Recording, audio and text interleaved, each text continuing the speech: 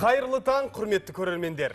армысыздар қымбатты ағайын Иә, Гүлнұр, мінекей ұйқымыз қанып, бүгінгі эфирге ә, дайындалып, таңертең таң ұлттық арнаның шымылдығын таңшолпан бағдарламасымен ашып отырмыз.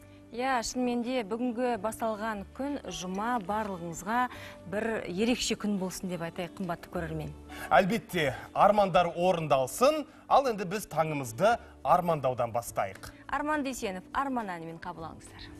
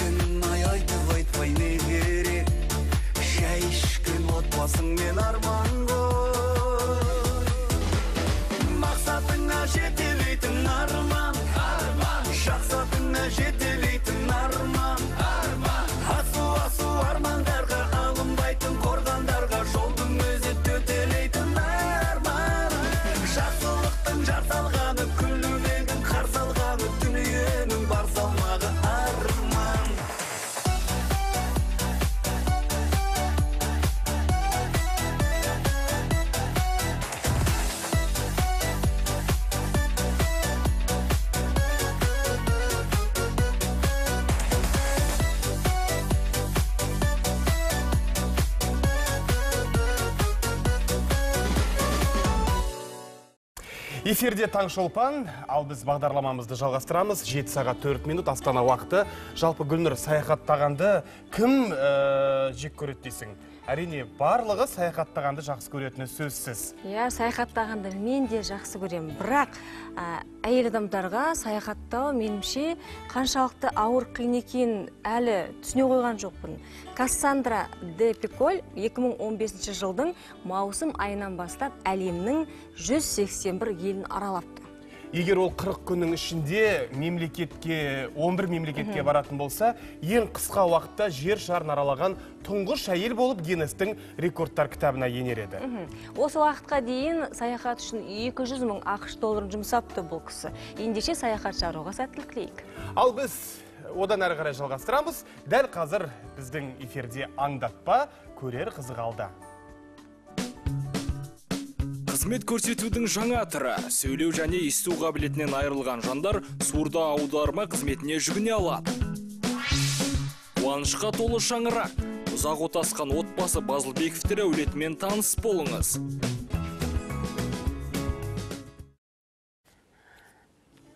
Мінекей бүгінгі таңшолпандан көретін дүниелеріңіз осындай. Иә расында да бізде қайырлы қызық таң көп. ұлттық арна Мхм. бізде қызық көп олай болса қымбатты көрермендер ұлттық арнамен бірге оянған көрермендер бүгінгі күндеріңізге керемет көңіл күй сыйлаймыз. Және де дәл қазір бізде таңғы жаттығудың уақыты келді. Құнзай байысқа кезек иә берейік кезек берейік. Бірге жаттығу жасайықшы. Қайырлы таң ұлттық арна көрермендері.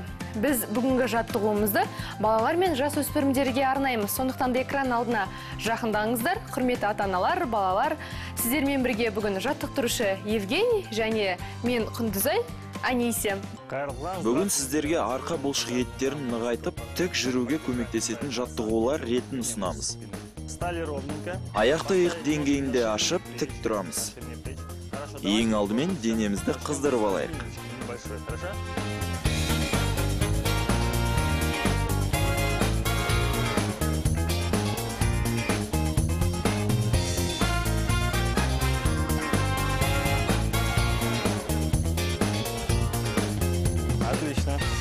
Опустились. Алғашқы жаттығуды бастаймыз. Ол үшін төсенішке ішімізбен жатамыз. Аккуратненько ложимся на живот. Вот такие мячики. Қазір мен сіздерге топ беремін. Соның көмегімен жаттығамыз.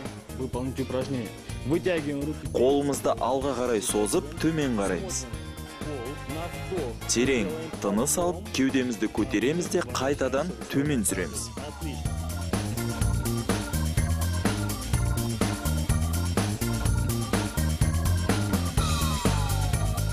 Здорово. Жақсы, аяқтаймыз. Келесі жаттығу. Қолымызды алға қарай созамыз. Мұқият қарап алыңыздар. Терең тыныс алып, кеудемізді көтеріп, допты осылай алма кезек ауыстырамыз. Содан кейін бастапқы қалыпқа келіп, қайтадан қайталаймыз.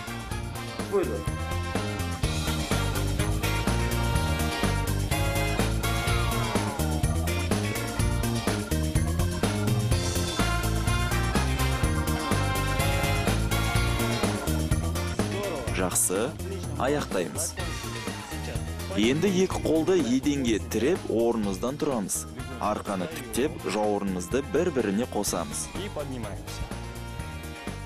Отлично. Көрсетілген жаттығуларды бекіту үшін келесі кезеңге өтеміз. Қазір мен сіздерге қалай жасалатынын көрсетемін. Сосын бірге қайталаймыз. Сары конустың жанына келіп, арқаны тіктеп тұрамыз. Осындай қапшықты басымызға қоямыз. Қолымызды екі бағытқа ашып, тепе-теңдікті сақтай отыра алға қарай жүреміз. Көк конусқа жеткен соң, оны айналып өтеміз. Қапшықты түсіріп алмай, сары конусқа қайтадан келеміз.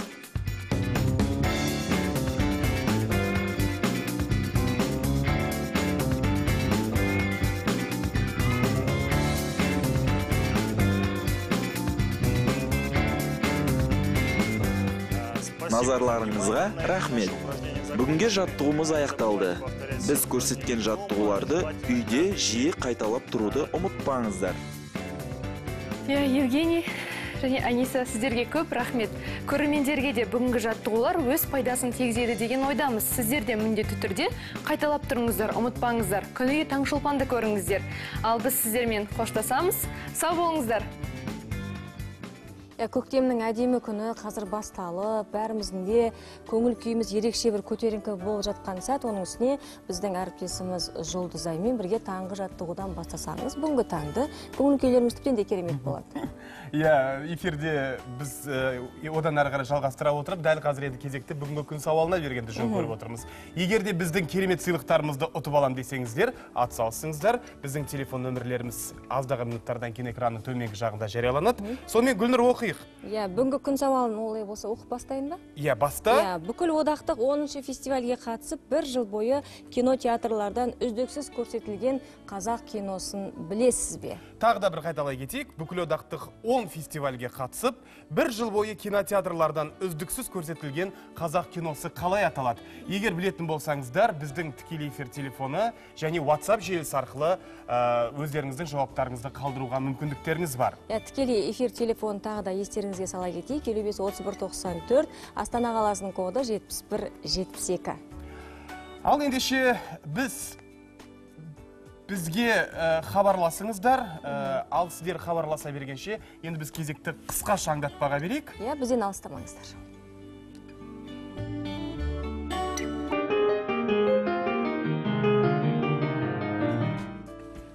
Иә бүгінгі жұма күнгі ә, таңшолпан эфирі ары қарай жалғасады. Бізге хабарласқан көрермен бар. Осы орайда бүгінгі күн сауалына жауап беремін деген сізді қабылдайық. Қайырлы таң.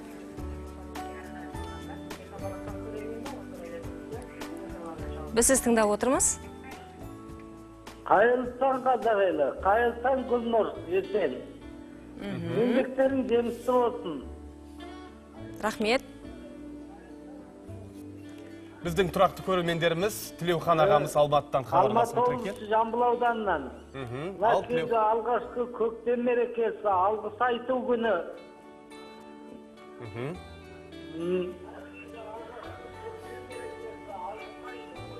Кішкене егер сіз иә. кішкене басқан дұрыс. Бүгінгі таңғы бәріне құттықтай жолдап отырып бүгінгі сұраққа жауап берейін деп едім. Мхм тыңдап отырмыз аға сізді.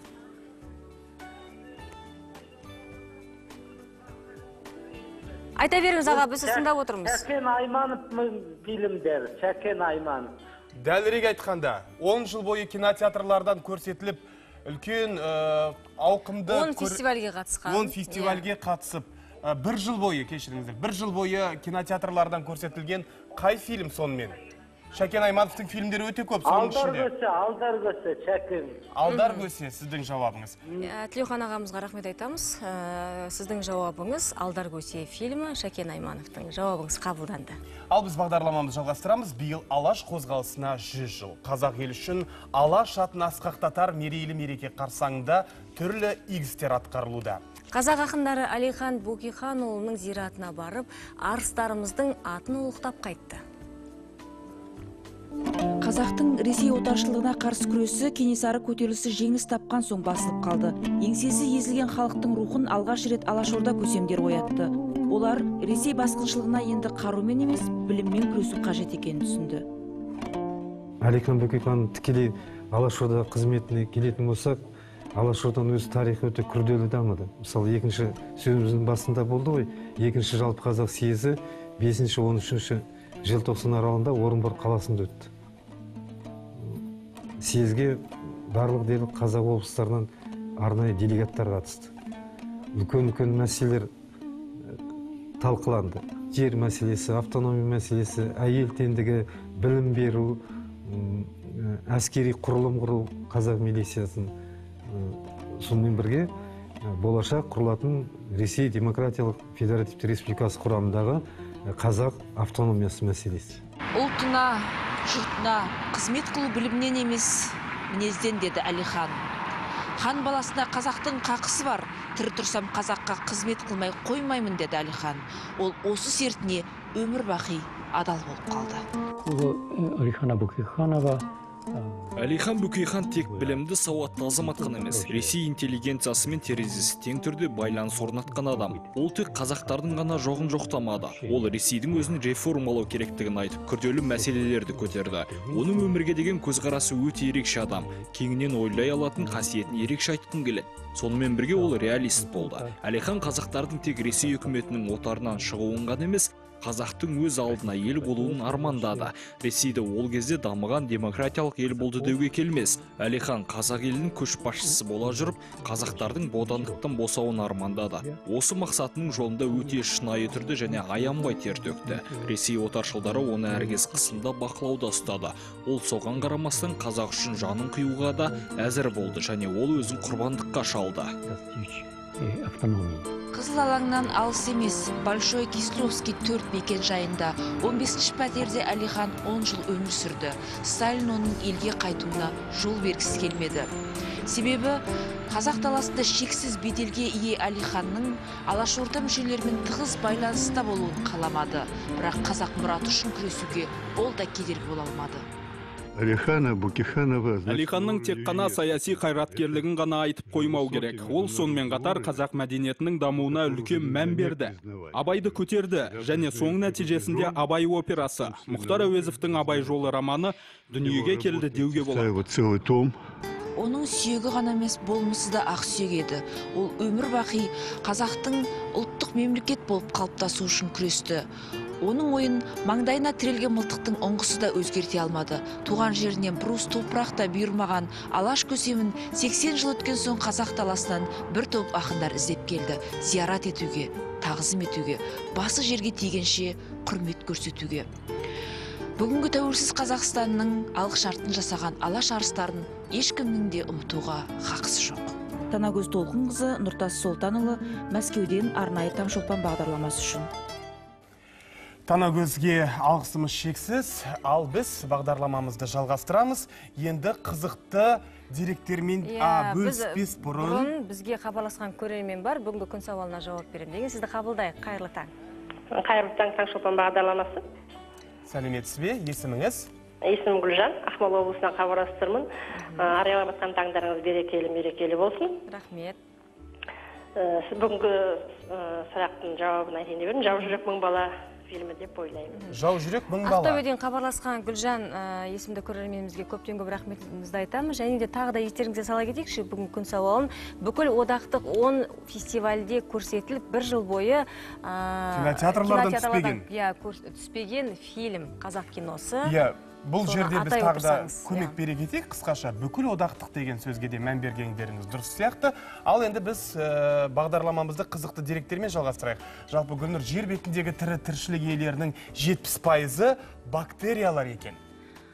Иә ол да бір қызық екен. Ал піл болса данияр төрт тізесі бар жалғыз жануар екен. Ал дельфиндер туралы мына бір ақпаратты сіздер бұрында білетін шығарсыздар бірақ дегенмен де қайталай кетейік. Бір көзін ашып ұйықтайды. Иә бір көзін былай ашып ұйықтайды деп. Қызық екен шынымен де. Ал ұлудың 25 мыңнан астам тісі бар екенін сіз білесіз бе? Түйеқұстың жұмыртқасы 40 минут бойы піседі. Айта берсек мұндай қызықтар өте көп. Ал қазір кезекті ғаламтор қызықтарына берейік. Yeah!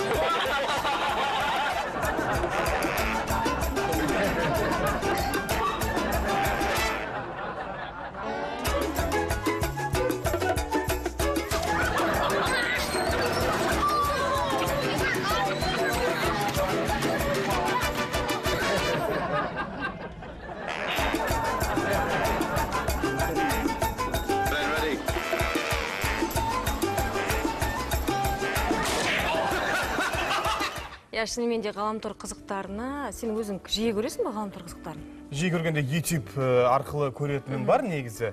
Әсіресе маған мына э, той томалақтарда э, болатын қызықтар өте э, жаңағы сол қызықтарға өте қатты көп, көп күлемін. Мысалға тойда құлап қалу болмаса түрлі түрлі жағдайлар бар ғой енді. Сондықтан да әр уақытта да күліп жүргеніңіз ол өзіңізге пайдалы. Әрине өзіңізге пайдалы шынымен ғой. Мысалы сен тойдағы қызықтарды ғана қызықтайды екенсің. Ал мен барлық осы әлеуметтік желі арқылы көрсететін ғаламтор қызықтарының барлығын ә, көруге тырысамын және бір бірімен салыстырамын. Ең қызығы дегенді қайта қайта көретін сәттерім де болады. Ең қызық қандай қызық болды? Ең қызығы Ес- айтпай ақ қояйын күліп тоқта, тоқтай қал, тоқтамай қалуым мүмкін. Жақсы ендеше біз дәл қазір хабарласып ә, бүгінгі күн сауалына жауап беремін деген көрерменімізді тыңдасақ қайырлы таң. Қайырлы таң қазақ елі. Қайырлы таң данияр гүлнұр арайлап жатқан таңдарыңыз нұрлы болсын. Сіздерге шығармашылық табыс тілеп отқан қазалыдан қадірбек қайырбек аға. Қадірбек ағамыз қадірбек аға. Сұрақтың жауабы ә, менің ойымша 1970 жыл шыққан атаманның ақыры режиссері шәкен айманов бұл мемлекеттік сыйлыққа ұсынылды. Содан кейін кешікпей сол машина апатынан москвада қайтыс болды. Қадірбек ағамызға рахмет. Хабарласқанына атаманның ақыры фильмі деді ғой. А, атаманның ақыры фильмі сіздің ойыңызша бүкіл одақтық 10 фестивальде жеңімпаз атанып және де бір жыл бойы кинотеатрлардан көрсетілімі жүрген деп айттыңыз. Солай болса енді жауабыңыз қабылданды. Хабардың соңына дейін бізбен бірге болыңыз. Ал біз бағдарламамызды әдеп әнмен жалғастырамыз. Дәл қазір таңшолпан эфирінде көңіл көтерер әсем әуен. Қабыл алыңыздар.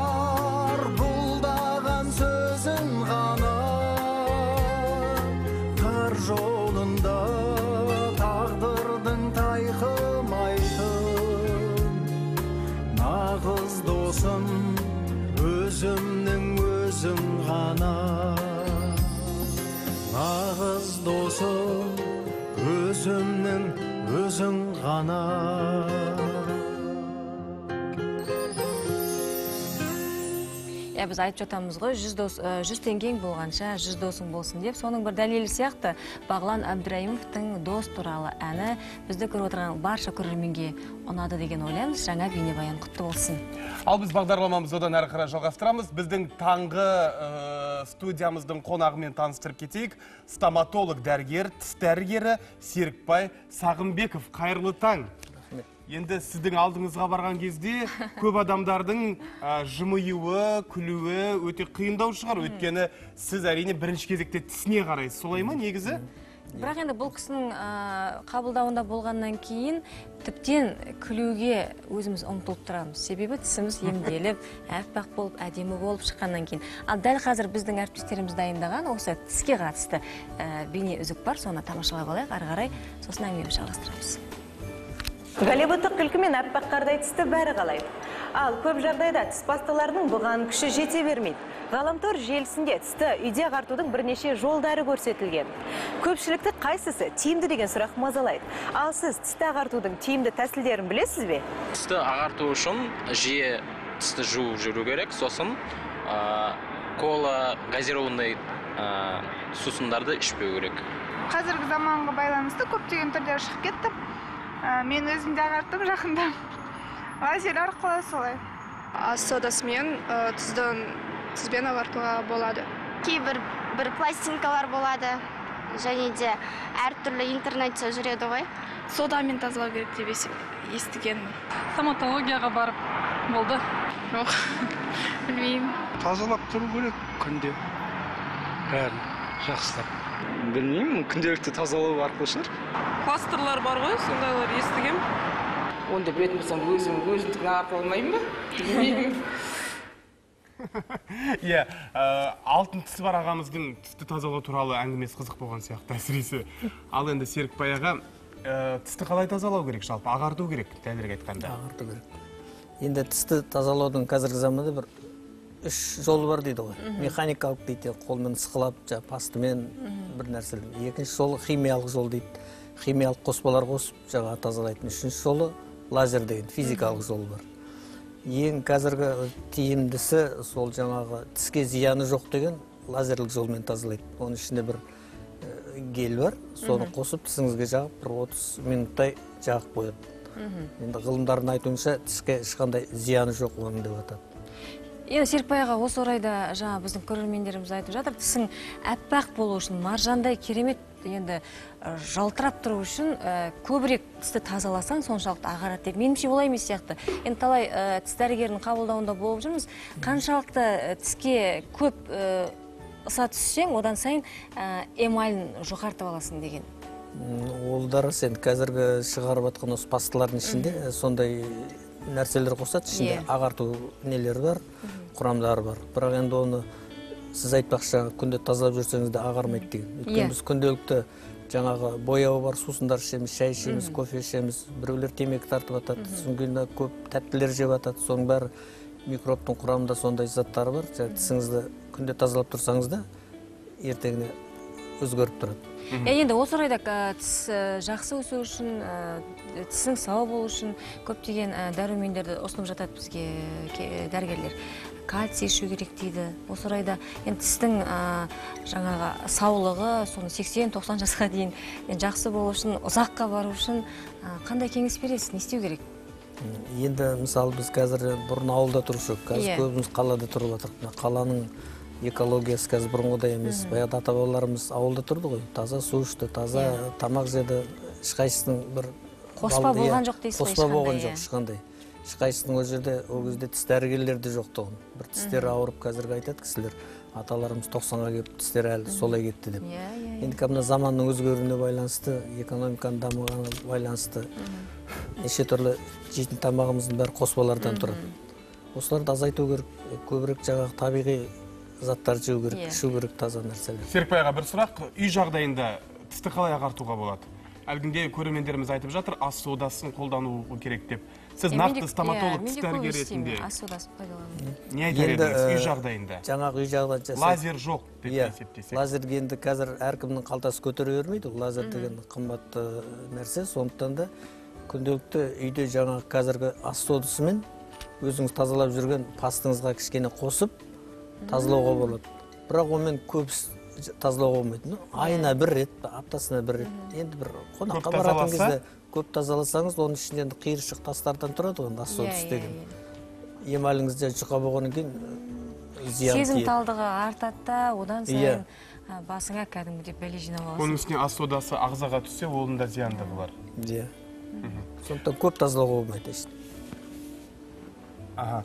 Ал енді ә, бүгін енді көптеген ә, жақсы мәліметтер айттыңыз деп ойлаймыз енді.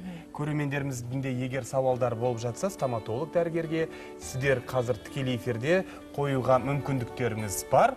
Ал енді ә, кішкентай балаларды сұрайықшы. Үйдегі мысалы балаларымыз кішкентайынан тістерінде бір ақаулар көп болып жатады. Және де осы тіс дәрігерлерінің қабылдауында үлкен кісілерден гөрі осы кішкентай балалар өте көп. Оны, оған не себеп? Енді балалардың тістері енді әрі жұқа болады Иә. сезімтал болады ғой. Тез бұзылатыны да содан. Енді жаңа біз айтқан қазіргі мына заманның талабына байланысты жаңа ішіп Дұрыс жатқан тамағымыз, иә, тамақтану керек дейсіз дұрыс ғой ең тамақтану керек. Сондықтан қазір бұрын осыдан жиырма отыз жыл бұрын тістердің балалардың тістері бұзылмайтын. Қазір Иә. екі жастан тісі шығып бұзылып келеді. Сосын осы- бәрін жұлуға тура келеді оның бәрін. Құдай ау үйдегі баламыз талай шырқыратып дәрігердің алдына апарып үстіңгі тістерін күйдірді ма? Одан ә, бір Иә. күміс Иә. дейді оны салды ма? Одан жаңағы тістері тіптен. Қазір әлі өспей жатыр тісі енді осының бәрі осы айланып келгенде осы қазір біздің қоршаған ортамызда өмір сүріп жатқан соған байланысты. Мхм. жақсы ендеше серікбай аға студияға келгеніңізге алғысымызды айтамыз. Таңыңыз әр уақытта да қай- қайырлы қайырлы болсын. Әр уақытта да алдыңызға келген адамдардың барлығы тістері жарқырап жүре берсін дейміз. Рахмет. Иә қымбатты көрермендеріміз бағдарламамызды әрі қарай жалғастырайық. Ә, тістеріңіз сау болсын десеңіздер дұрыс тамақтаныңыздар және де дер кезінде ә, тіс дәрігеріне ә, барып тістеріңізді көрсетіп тұруды ұмытпаңыздар.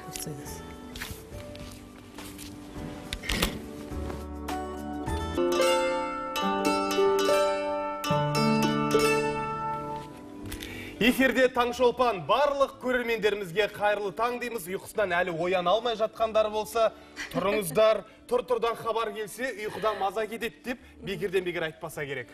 Иә дұрыс айтасың. Шынымен де тұр тұрдан хабар келсе ұйқыдан маза кететін ол сөз. Солай болса біз енді ұйқыдан тұрмай жатып бізді көріп отырған көрермендерге ә, қайда барып демаласыздар деп сұрақ қояйықшы. Әлбетте дәл осы сұрақ өйткені алдағы жексенбі сенбі жексенбі күндері ең бір маңызды сұрақтардың бірі болуы мүмкін. Иә. иә расында да қайда барып демаласыздар? Дәл осы сұраққа біздің әріптесіміз әсем қонысбектегі жауап іздеп көрген еді. Ақмола облысы Зеренді демалыс аймағындағы сапарымыз ары қарай жалғасады. Зеренді көлінің айналасында шипажайлар мен сауықтыру кешендері көп. Солардың бірі Сұңқар сауықтыру кешені. Орталық келушілерге емдік ванналармен жақсы таныс. Қылқанды сан түрлі теңіз тұздарынан тұратын ванналармен қатар, мұнда емдік шөптен жасалған ванна да бар. Сұңқар сауықтыру кешенінің басым мейірбикесі Әсемгүл Исабекова бізді мұнда көрсетілетін қызмет түрлерімен таныстырып өтті. Это ванна для подводного душа массажа. Бұл суасты массажына арналған ванна. Әуелі ванна ішіне су толтырамыз. Негізі массаж 15-20 минут жасалады. Дегенмен біз адамның денсаулығына да баса назар аударамыз. Су ішіндегі емделушіге мына құрылғының көмегімен массаж жасаймыз. Это состояние человека. Иә, бұл кешенге келушілердің дені бұғымүйіз ваннасын қабылдайды. Ваннаның бұл түрі әсіресе ағзаны қалыпқа келтіруге, иммундық жүйені көтеруге бірден бір ем. Айта кету керек, аталмыш орталықта емдік ваннаның алты түрі бар. сұңқар демалыс кешенінде екі түрлі бөлме бар люкс және стандартты стандарттының бағасы 7700 теңгені құраса люкс 9200 теңгені құрайды бұның ішіне осындай жаттығу залдары да кіреді Демалушыларды ең әуелі не қызықтырады? Көркем табиғат, таза ауа, солай емес пе? Мұның екеуі де сұңқар демалыс кешенінде бар. Қыс мезгілінде жолыңыз түсіп келе қалсаңыз, бұл жерден қысқы спорт түрлерін де таба аласыз. Демалушылардың көбі түстен кейінгі уақытын коньки шаңғы тебуге арнайды. Оған арнайы орындар да қарастырылған. Қосымша ақша төлейсіз. Қанша тұрады екен біз дәл қазір бағасын білейік. Сәлеметсіз бе аға? Сіздерде мұнда шаңғы коньки бар екен. Бағасын айтып жіберсеңіз, қанша тұрады? шаңғы коньки шана сырғанақ ақылы сағатына үш жүз елу теңге қайсысын алсаңыз да қайсысын қалайсыз? Ендеше маған коньки берсеңіз отыз жетінші өлшем теуіп көрейік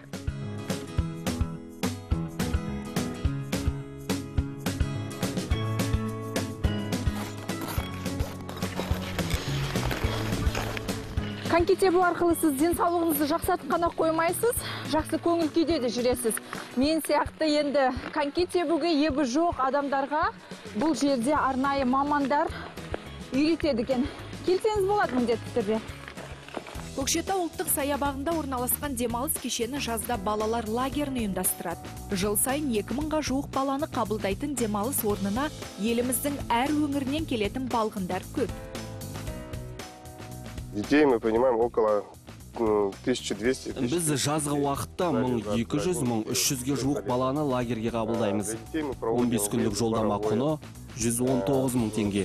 Бұл баға ішіне 5 мезгіл тағам мен бассейн спорт зал және өзге де қызмет түрлері кіреді. Ата аналарға құлақ қағыс ретінде айтайық сұңқар демалыс кешенінде балаларға бар жағдай жасалынған. Мұнда ересектер бассейнімен қоса балалар бассейні де бар. Келіп демалсаңыздар болады. 144 орындық нысанда үш мезгіл тамақ беріледі. Кешен аумағында баскетбол волейбол футбол ойнауға арналған алаңдар да бар. Білесіз бе мұнда демалуға келген адам бурабай ұлттық саябағына барып саяхат жасай алады. Ол жағы да қарастырылған. Бос уақытыңыз болса сіз мұнда боулинг және бильярд ойнай аласыз. Боулингтің бағасы мың жарым теңге ал бильярдтың бағасы 500 теңгені құрайды.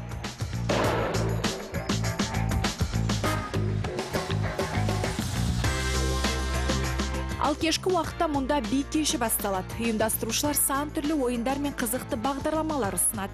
Ақмола облысы зеренді демалыс аймағындағы біздің екінші күніміз осымен тәмам. Әсем қонысбектегі жанболат қобдабай арнайы таңшолпан үшін.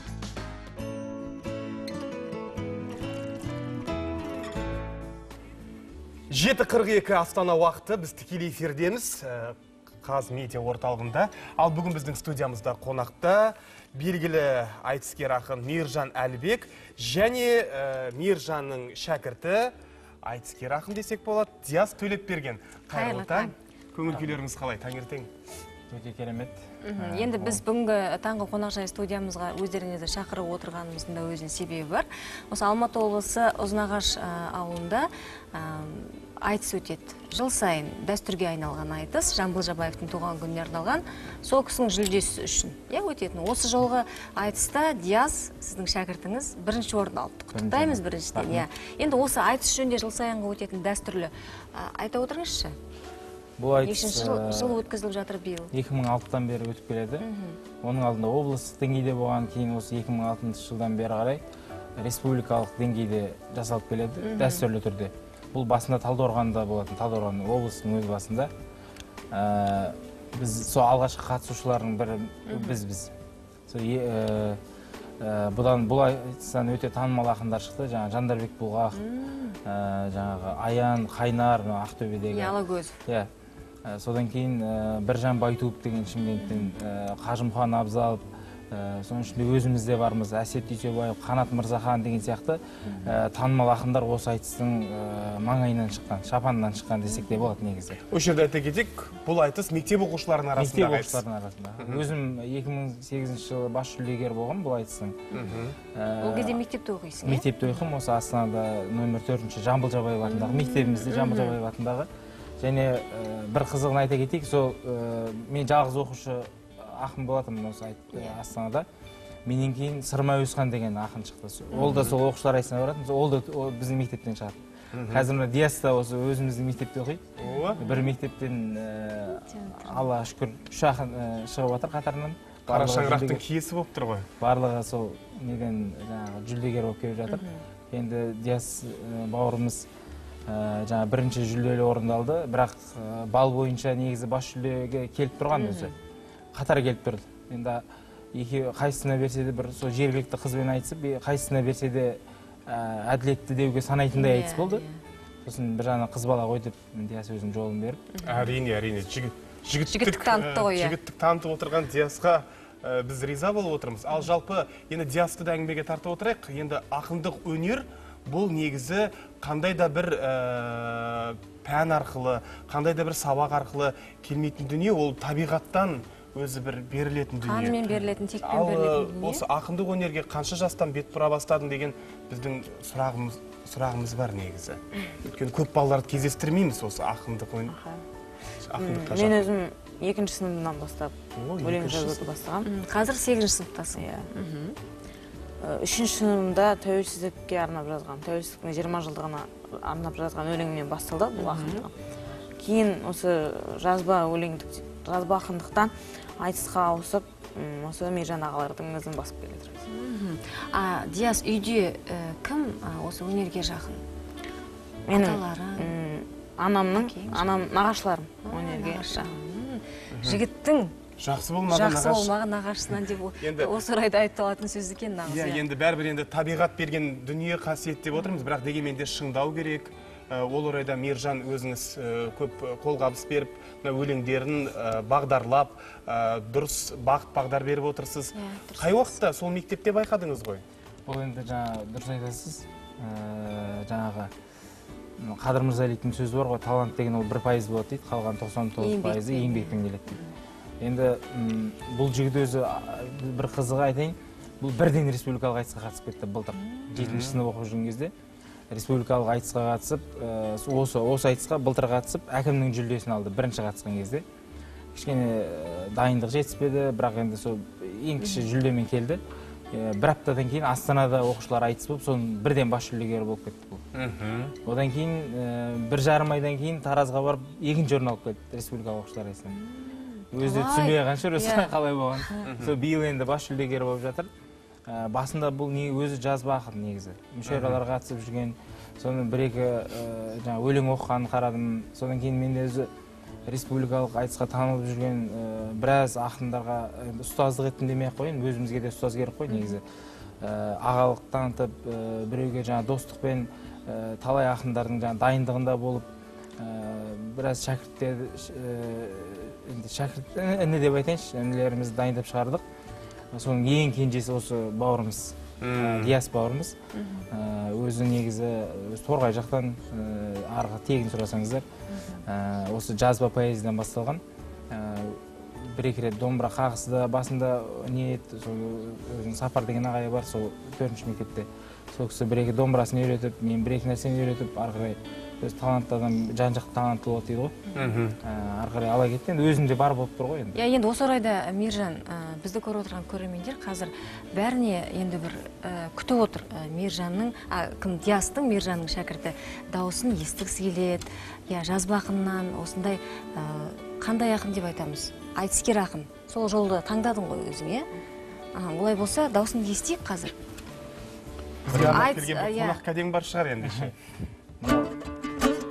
таңшолпанды қосып бізге де өлең шығарып жіберсең болады. Ол бағына көрсеткен бар ғажабын елімді ардақтаймын барда жаным. Таң нұрлы бола берсін баршаңызға. Таң шолпанмен оянған нар қазағым ай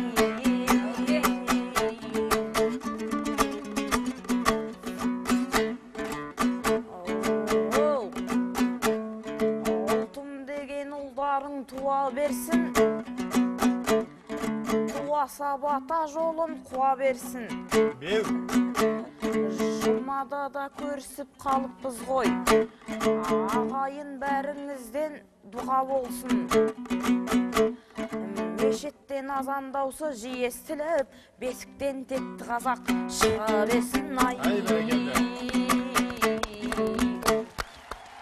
бәрекелді. Қалып қалған сияқты. Тыңдағым келіп кетті. Иә біз рахмет диас мінекей таңертең тұрған көрермендерді ұйқысынан оятып бір тамаша өзіңнің жырыңды тартып өттің деп ойлаймыз. Әлі де алдағы уақытта үлкен айтыстардан көретін, көретінімізге сенімдіміз. Ал енді мейіржан алдағы енді шәкірт тәрбиелеп отырсыздар мінекей шәкірт емес іні деп атайыншы деп өзіңіз айтып отырсыз. Алдағы уақыт жоспарларыңыз қандай енді? Біздің жамбыл ә, бала жамбыл кітап шығарып жатыр. Мүмкін алдап диастың ә, жаңағы бұл енді жазбаны да айтысты да қатар ұстаймын деп отыр негізі. Бірақ енді жазба ә, поэзияда жақсы ғой. Өйткені себебі хатта қалатын дүние. Ә, енді қазір алдағы жоспар жөнінде бөлісе кетсек біздің ә, мектеп былтыр жамбылдың жүз жетпіс жылдығына байланысты ә, айтыс өткізген республикалық арасында. енді биыл мектептің өзі 110 жылдық мерейтойын атағалы отыр. Мектебіміздің өзі 110 ә, жылдыққа толып отыр. Соған байланысты тағы да жоспарымыз бар. Осы республикалық оқушылар айтысын жасасақ па деген. Ә, соған енді аздап дайындықтың қамына да кірісеміз. Ә, енді жаңа биыл бірінші орнаған ә, жаңа айтысымызды келесі жылы бас жүлдесін алсақ деп отырмыз. Соған жетіңіздер. Тілектеспіз шын жүректен диас жақсы студияға келгендеріңізге айтар алғысымыз шексіз. Иә диасты тек биіктерден көре берейік иә дейміз. осы орайда біз диаста жаңа таңғы өзінің ә, таңғы шашуын тыңдадық. Мейіржан бір шумақ бізді көріп отырған көрермендерге таңғы тілекпен жеткізсең.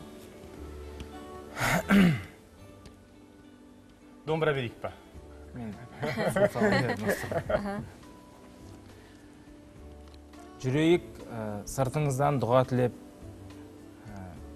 өлеңім өлеңім болар болмаса да бір асымет ә, данияр ә, ағамыздан ә, тілек болса және де әпкемізге рахмет.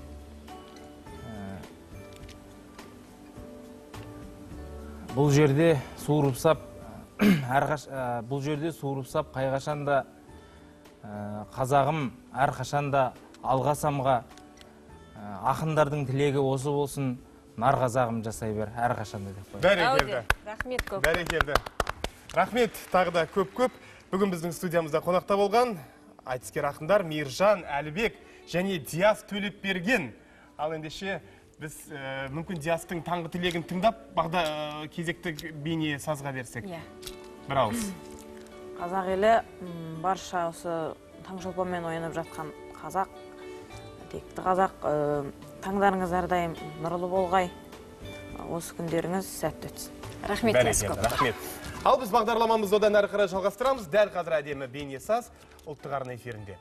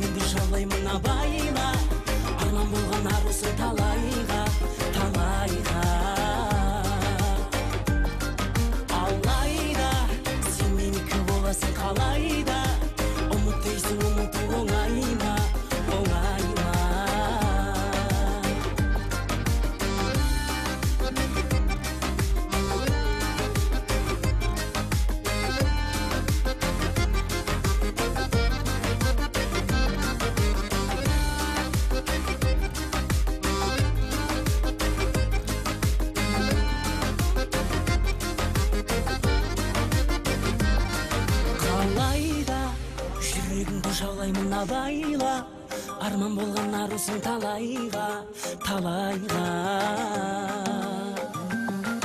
алайда сен менікі боласың қалайда? Ұмыт дейсің ұмыту оңай ма оңай ма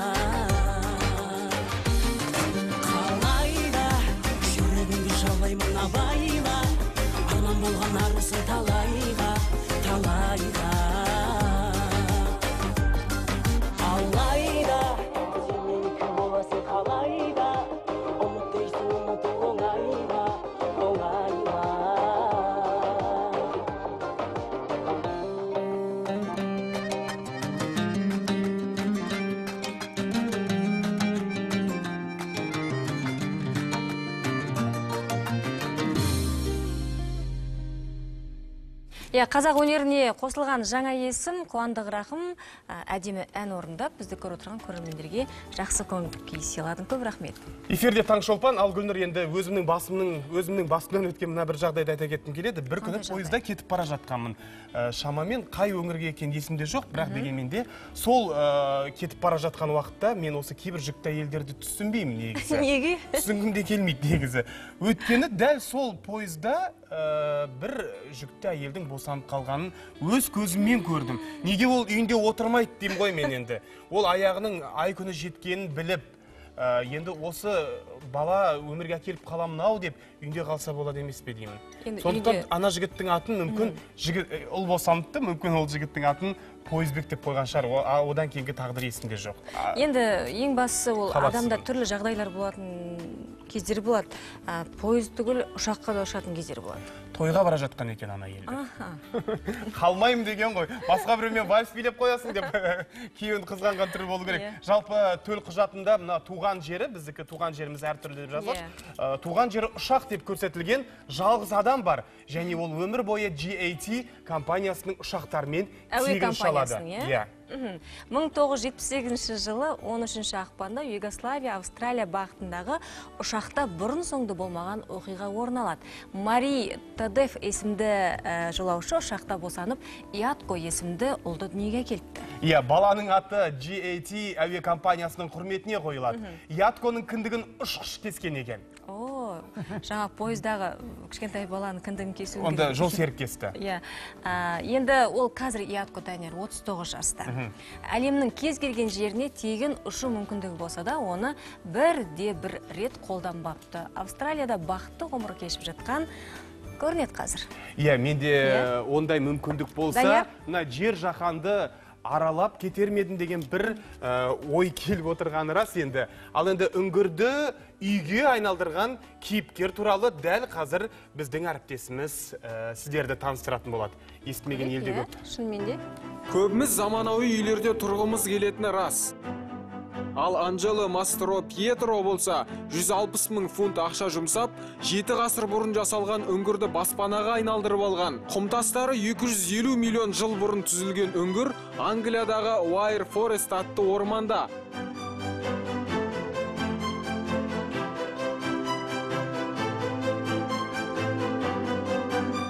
38 жастағы анджело құрылыс жұмыстарын өзі жүргізіпті.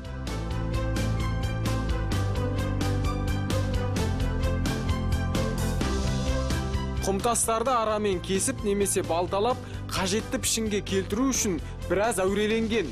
Өзінің айтуы бойынша шамамен 70-80 тонна артық тасты сыртқа қолмен шығарған екен. Ерекше баспананың алдындағы көлемі 100 шаршы метр болатын мына жол сол артық тастардан жасалған. Үй Wi-Fi желісімен қамтылған. Анджело үңгірдің ұңғыл шұңғылына тиіспей зат қоятын сөре ретінде пайдаланады. Мысалы ана бұрышқа жарық беретін шамдар қойылған.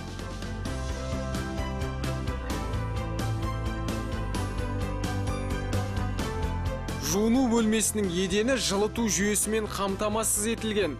Мұндай шұңғылшаны жасауға үй иесі біраз тер төгіпті. Су тарту үшін тереңдігі 18 метр құдық қазыпты. Бастапқыда мына есіктің орнында қалың қабырға болған екен. Әйтсе де төзімді анжела тас қабырғаны 11 күн бойы арамен кесіп екі бөлменің арасын ашыпты.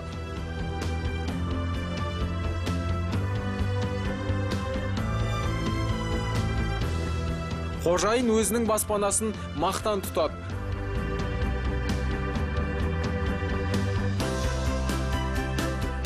Арнайы таңшолпан бағдарламасы үшін дайындап ұсынған алпамыс файзолла.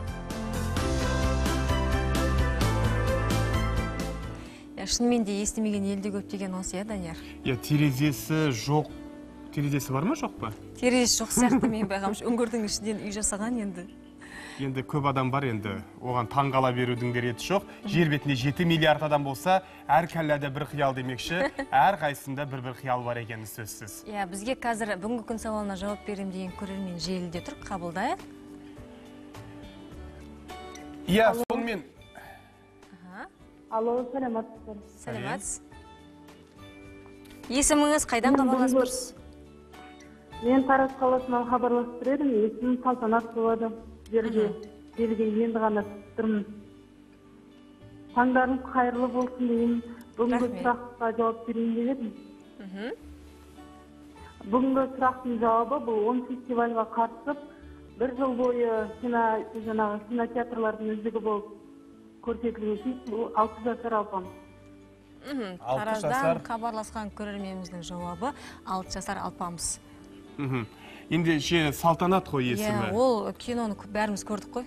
Көрдік. Иә. мүмкін сол фильм мүмкін басқа фильм оны 9 сағат 40 минутта білетін боласыздар. Ал енді гүлнұр дәл қазір кезек соны алатау баурайындағы ә, біздің алматылық- қаладағы әріптестерімізге келіп қалған алматылық сияқты әріптестерге кезек берейік. Алматының жылы жебін ә, жылы ә, лебін астанаға рахмет жіберіңіздерші астана Қайырлы таң. астана жұмада қайта өздеріңізбен қауышып отырмыз.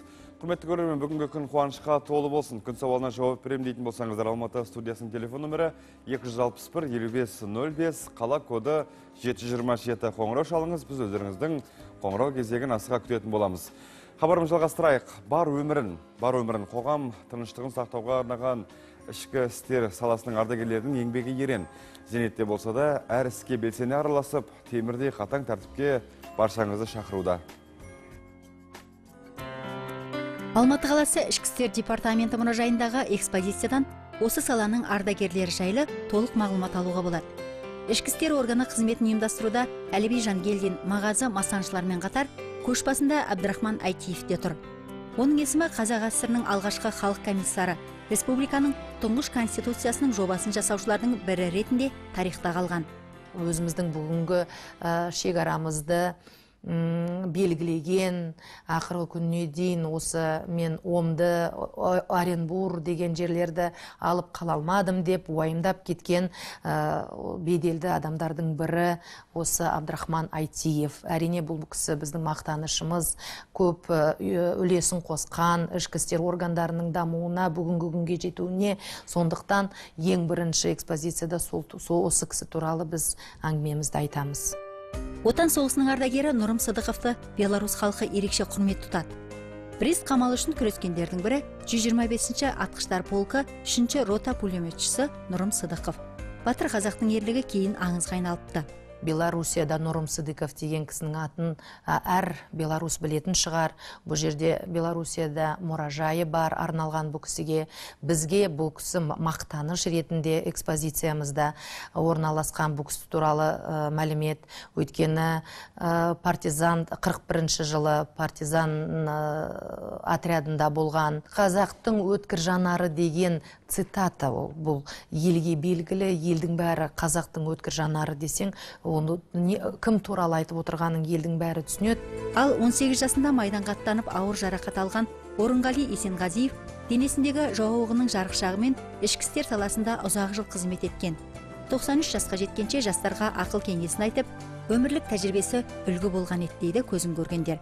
Жарақат алған кездегі ә, жасаған ерлігі үшін қызыл ту орденімен марапатталғанын өзі білмеген 86 жылы францияға шақырылды. Шақырған. Сол францияда бұл кісіге қызыл ту ордені марапат ретінде берілген өте қызықты оқиға бар. Былтыр өкінішке орай 9 мамырдың алдында бұл кісі көзін жұмған. Ішкі істер органдары қызметінің 1960 жылы алматыда бөлек бөлімше болып құрылуына үлес қосқан азамат жансбек құсманғалиев. Соғысқа дейін мәдени ағарту училищесінде білім алған жансбек ата бөлімше жұмысының алға басуы жолында аянбай еңбек еткен. Отан соғысында ерлік көрсетіп одан кейін де ел тыныштығын күзету жолында қызмет еткен бұл азаматтардың есімі бүгін тарих төрінен орын алған. Жазира зәкірқызы жеңіс торғауытов арнайы таңшолпан үшін.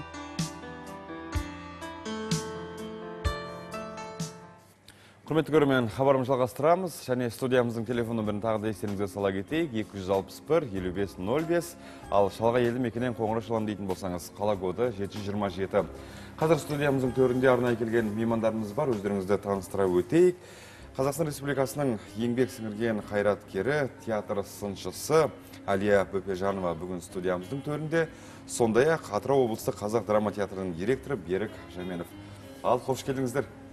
Рахмет. Көңіл күй барлығы ойдағыдай ғой жақсы. Жақсы жақсы екені көрініп тұрған сияқты өздеріңізден бүгін енді жағым жаңалықпен келіп отырсыздар міне менің қолымда құрметті көрермендер әлия бөпежанованың атырау облыстық драма театры атты кітабы жарыққа шықты оқырманға жол тартты бүгін тұсаукесері құрметті көрермендер сондықтан әңгімені осы кітаптың аясында ә, жаңағы әңгімелескенді жөн санап отырмыз әңгімені осыдан бастайық енді біріншіден рахмет құрметтеп шақырғандарыңызға мына республикаға осындай үлкен жақсы жаңалықты жеткізіп отырғандарыңызға.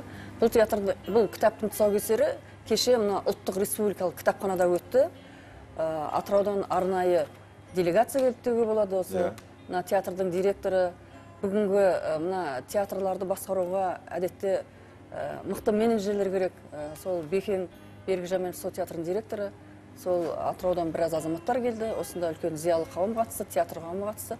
Өте жақсы тұсаукесер өтті. Өйткені бұл кітаптың солай тұсаукесер өтуге өзі лайықты ғой деп ойлаймын. Өйткені бұл ә, еліміздің іргелі театрлардың бірі 78 жылдық тарихы бар. Иә. алла жазса келесі жыл 80 жылдығын тойлайды.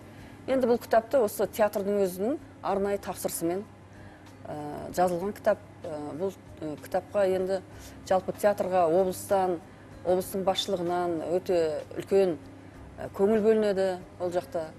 Енді қалған әңгімені кішкене бекең айтса сонау жақтан келді. Сол театрдың бүкіл қыр сырын біледі. Расында театрдың тарихы тереңде. Ә, кітаптың өзінде 38 жылдан бастауын алған. Тарихын айтып беріңізші. Бұл енді әрине театрдың іргесі 38 жылғы қаланған. Иә со сол кездегі бөрік өңірінің ә, өнерден хабары бар. Студия бітірген соның ішіндегі театрға жақын деген азаматтардан азаматшалардан құралып анау қазір қызылжар петропавлдың сол кездегі театр мамандарыменен келіп толықсуы ә, алғаш сол ә, театрымыз 38 жылы құрылып үлкен қадам алған. Бүгінде мына келесі жылсы бұйырса 80 жылдық тарихы бар үлкен театр. Жаңа әли апамыз айтып өтті ғой. Бұл тарих дейтіннің өзі бүгінгі күніміздің өзі ертеңге тарих болып саналады. Иә. Иә. Мынау соның ішіндегі жетпісте жеті жыл ә, кітап құрал осы ізденіс басталғанда мынау жи- жинағын. Тарихы бар театрды иә, сол кездегі азамат пен азаматшалардың үлкен өнердің жолындағы ағаларымыздың апаларымыздың өнердің сойылын соққан сол кезде елім деп е, сол ішіндегі қазақ өнерінің театр саласын көтерген азаматтардың бұл еңбегін еш қалдырмауға болмайтын болды.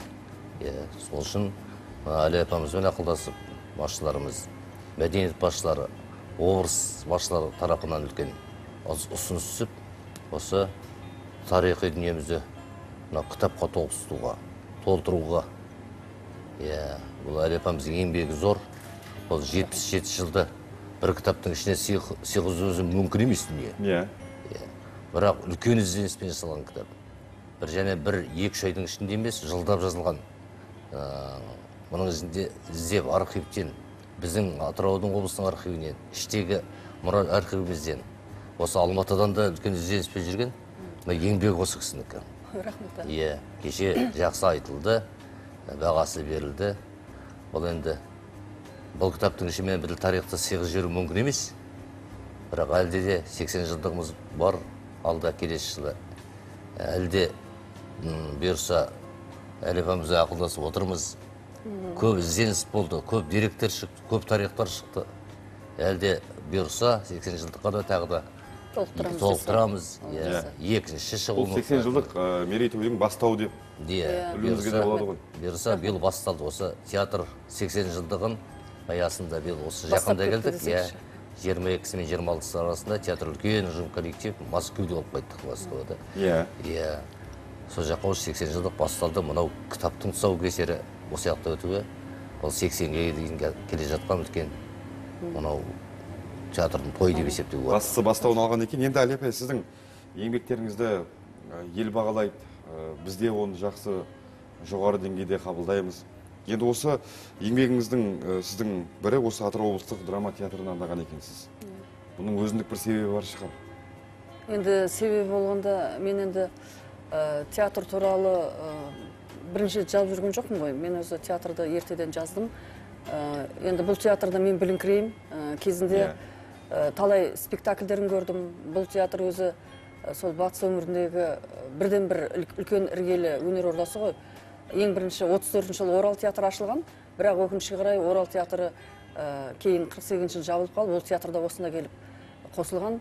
Бұл театр енді ә, жалпы мынау көз ашық азаматтардың мына алаш ардагерлерінің арманына туған ғой театр деген. Енді бұл театрды ә, құрған алғашқы азаматтар енді бүгінде о дүниелік болып кетті мынаның ішінде бәрі айтылады. Иә. ол кісілер өте үлкен шаруа жасаған Ә, бұл театрдың студиядан құрылған ғой 37 жылы студия ашылған. Сонда жұмат шанин қазақтың көрнекті режиссер тұңғыш профессионал. Сол кісіге ол жерде шеберлік сыныптарын берген енді бұнда қуат төлеуов деген үлкен тұлға құрманғазы доғалақов оңай жақсыбаев алма ахметова содан кейін мына сол тарихтың алғашқы бастау кезінде шашсығыз жұмабаева деген ең бірінші актриса болған.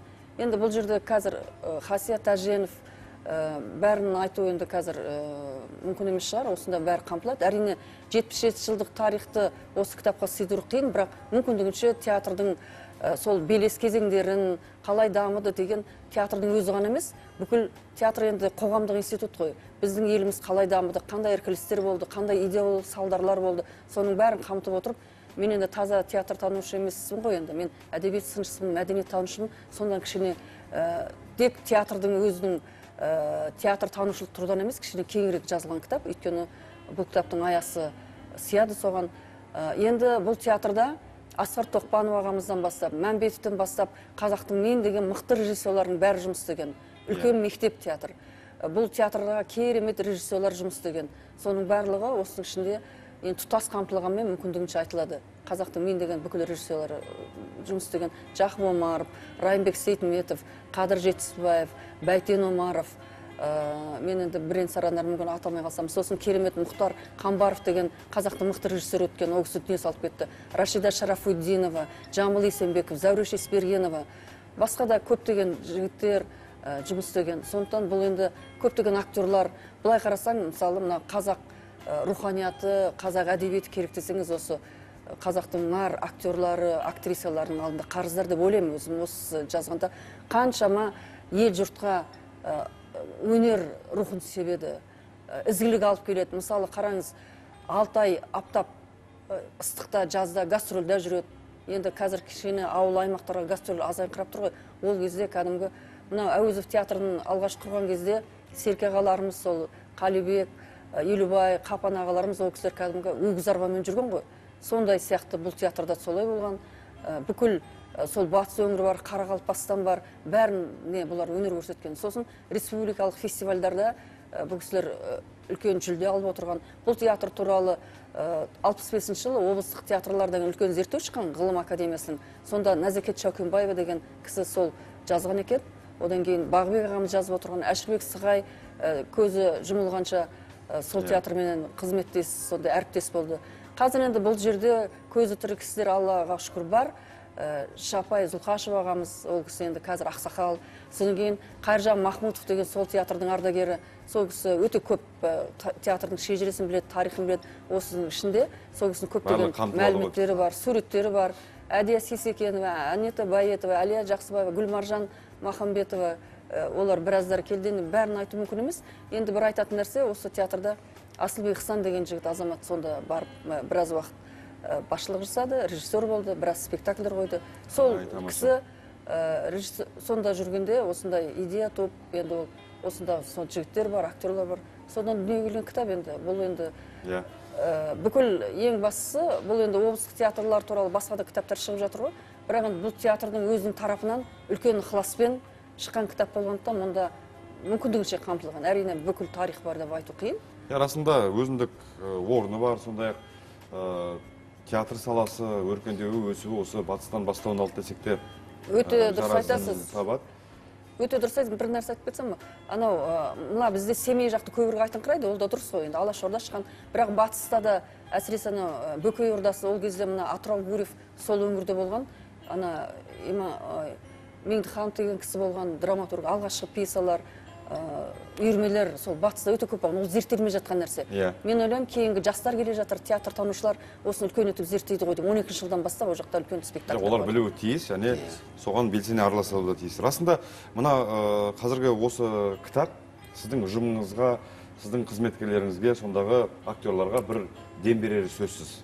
Шындығы бүгінгі э, сіздің э, басшылық етіп отырған театрдың хал ахуалы қалай? Театр жағдай жақсы. Енді жаңа айтып отырмыз ғой сол 80 жылдық тарихы бар театр деп. Ол енді бүгінге дейін үлкен корифейлеріміз бар үлкен өнер адамдары бар. Сол театрдың биіктігін аласартпай әкелді. Қазір жастармен толысуда режиссерлармен толысуда. Бұл бізге бір бақыт деп саналатыны біздің театрымызда үш бірдей үлкен режиссер бар. Соның ішінде үлкен болған бұл жастар. Иә мұқан туманов дейтін қазақстанға белгілі үлкен режиссер. Иә. Ә, жанат дейтін және хаджиевтен бітірген ә, осы шығып жүрген иә, дүниелер фестивальдерге қатысып жүрген үлкен режиссер туындылары несі қойылымдары. Және гүлназ дейтін қызымыз бар. Қай қайсысы да мысалы режиссермен негізі театрдың бақыты режиссерда ғой. Сосын режиссерда актерлардың екпінінде толысуында.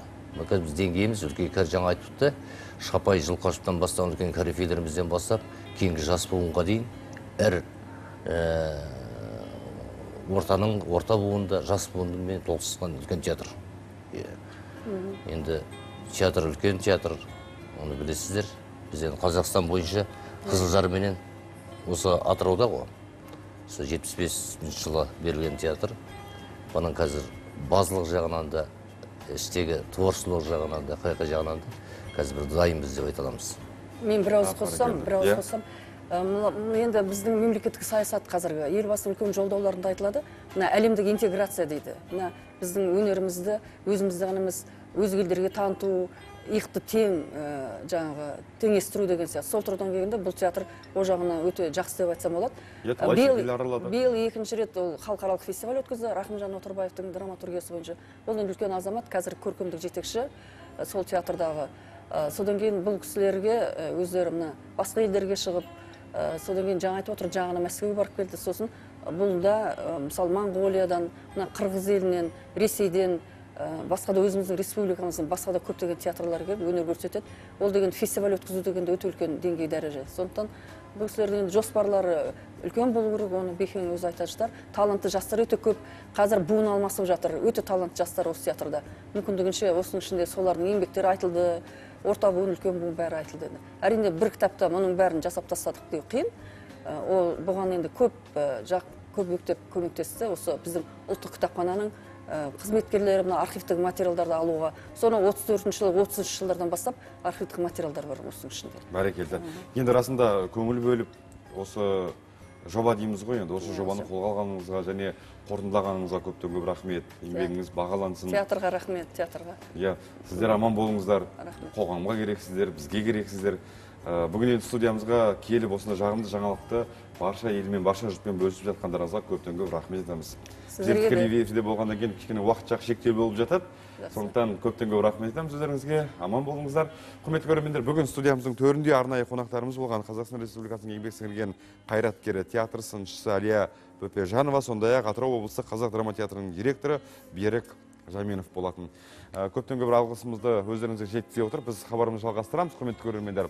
Психологиялық, психологиялық қызметтің бірі ол балалардың мамандыққа деген икемділігін анықтап олардың болашақта тиімді қызмет атқару саласын таңдап алуға көмек көрсету. Сондай ақ ата аналарда перзенттердің мамандық таңдауына тікелей ат салысатыны бар. Ал таңшолпан тілшілері түрлі мамандыққа баулитын заманауи қалашығына барып қайтқан еді. Бірге көрейік.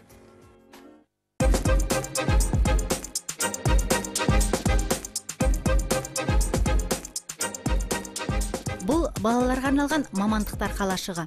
Кішкентайларды отыздан астам салаға баулиды бір сөзбен айтқанда бүлдіршіндердің арманы орындалатын жер. Қалашықтағы әр балаға жауапты іс жүктелген. Бірі өрт сөндіруге асықса екіншісі дәрігер болып науқастарды қабылдаудан қолы босамай жатыр. Камерасын асынып микрофонын қолына алған мына балақайлар біздің әріптесіміз. Қалашықта болып жатқан әр оқиғаны қалт жіберген емес. Қажет болса баспасөз мәслихатын өткізіп шұғыл ақпаратты радио арқылы таратады. Бұл жерде кішкентай шеф аспаздар да бар. Олар қала тұрғындарына тәтті бәліш пісіріп жатыр.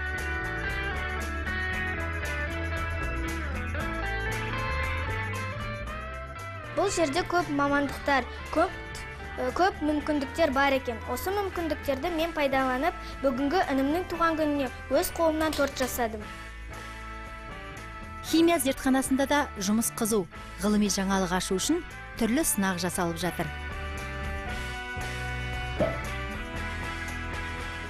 Қалашықтың өз полициясы бар. Құқық қорғау саласының кішкентай қызметкерлері қауіпті қылмыскерді ұстаған екен. Тергеу басталып кетті. Ұрыны темір торға қамап өз жұмыстарын аяқтады. Лаборатория ұнады өрт сөндірген ұнады ұрлықшыны ұстаған ұнады. Осы ойын сауық орталығына немерелерімізді алып қыдыртып келдік. Бізге өте ұнады.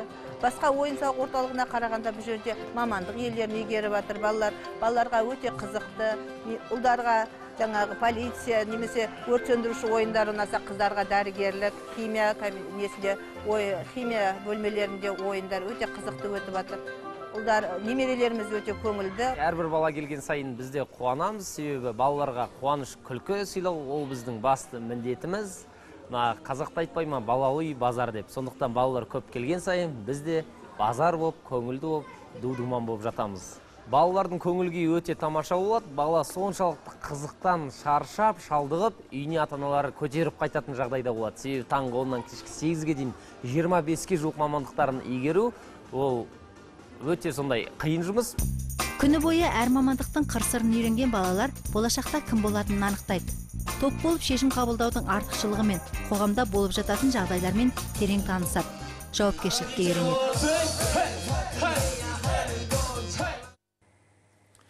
Құрметті көрермендер бүгінгі күн сауалына жауап беремін дейтін болсаңыз мархабат. Байланыс нөміріміз екі жүз алпыс елу бес нөл бес. Ал алматы қаласының коды жеті жүз жиырма жеті. Осы аптаны біз кино саласына арнағанымыз бар. Сондықтан хабарласыңыз ой бөлісіңіз. Ал қазіргі кезекті астана студиясына береміз. Астана. Көп рахмет руслан. Рахмет. Ә, алматымен біз алдағы уақытта да тікелей байланысқа шығамыз. Ал біз таңшолпанның эфирін астана студиясына жалғастырамыз. Қазмедиа орталығы бірінші студия деп қайда қайта айта беремді және де қымбатты көрермендер бүгінгі күн сауалын тағы да естеріңізге сала кетейік. Бүкіл одақтық 10 фестивальге қатысып барлық кинотеатрларда бір жыл бойы көрсетілімге ие болған қаз- қазақ киносын білесіз бе? Білсеңіз бізге хабарласыңыз. елу бес отыз бір тоқсан төрт бұл біздің байланыс нөміріміз. Астана қаласының коды жетпіс бір жетпіс екі. Және WhatsApp мессенджер арқылы да жауап беруге мүмкіндіктеріңіз бар. Қазірдің өзінде көптеген хабарлама келіп жатыр екен. Жауаптың дұрыс бұрыстығын тоғыз қырықта айтатын боламыз. Ал енді ә, мына бір қызықты жайтты айта кеткенді жөн көріп отырмыз. Дәрігерлер күн сайын жеуге тиісті алты жеміс жидектің атын атады. Бұл тағамдар адамдарды жүрек қатерлі ісік қант диабеті мен семіруден сақтандырады екен. Сонымен дәрігерлер атаған алты жеміс жидек қызанақ сәбіз йогурт барлық көкөністер бидай өнімдері және жаңғақ екен. Қызанақ помидор. Қатерлі ісікке шалдыққан адамдарға көмектессе көкөністер жүрегі ауыратын адамдар үшін ең пайдалы жеміс жидектің түрі Иә, болып ал есептелінеді. йогурт иммунитетті күшейтіп қатерлі ісікке тойтарыс береді. Ал жаңғақ болса күйзеліс кезінде немесе қатты шаршаған кезде күш қуатты еселеуге көмектеседі. иә жақсы ән де адам көңіліне ерекше бір ә, шуақ сыйлайтын сөзсіз. Иә сондықтан да алдағы уақытта біз сіздерге әдемі әндерді беріп жоқ мен осы орайда ойлағаным ғой сен бір әу деп жібересің бе деп.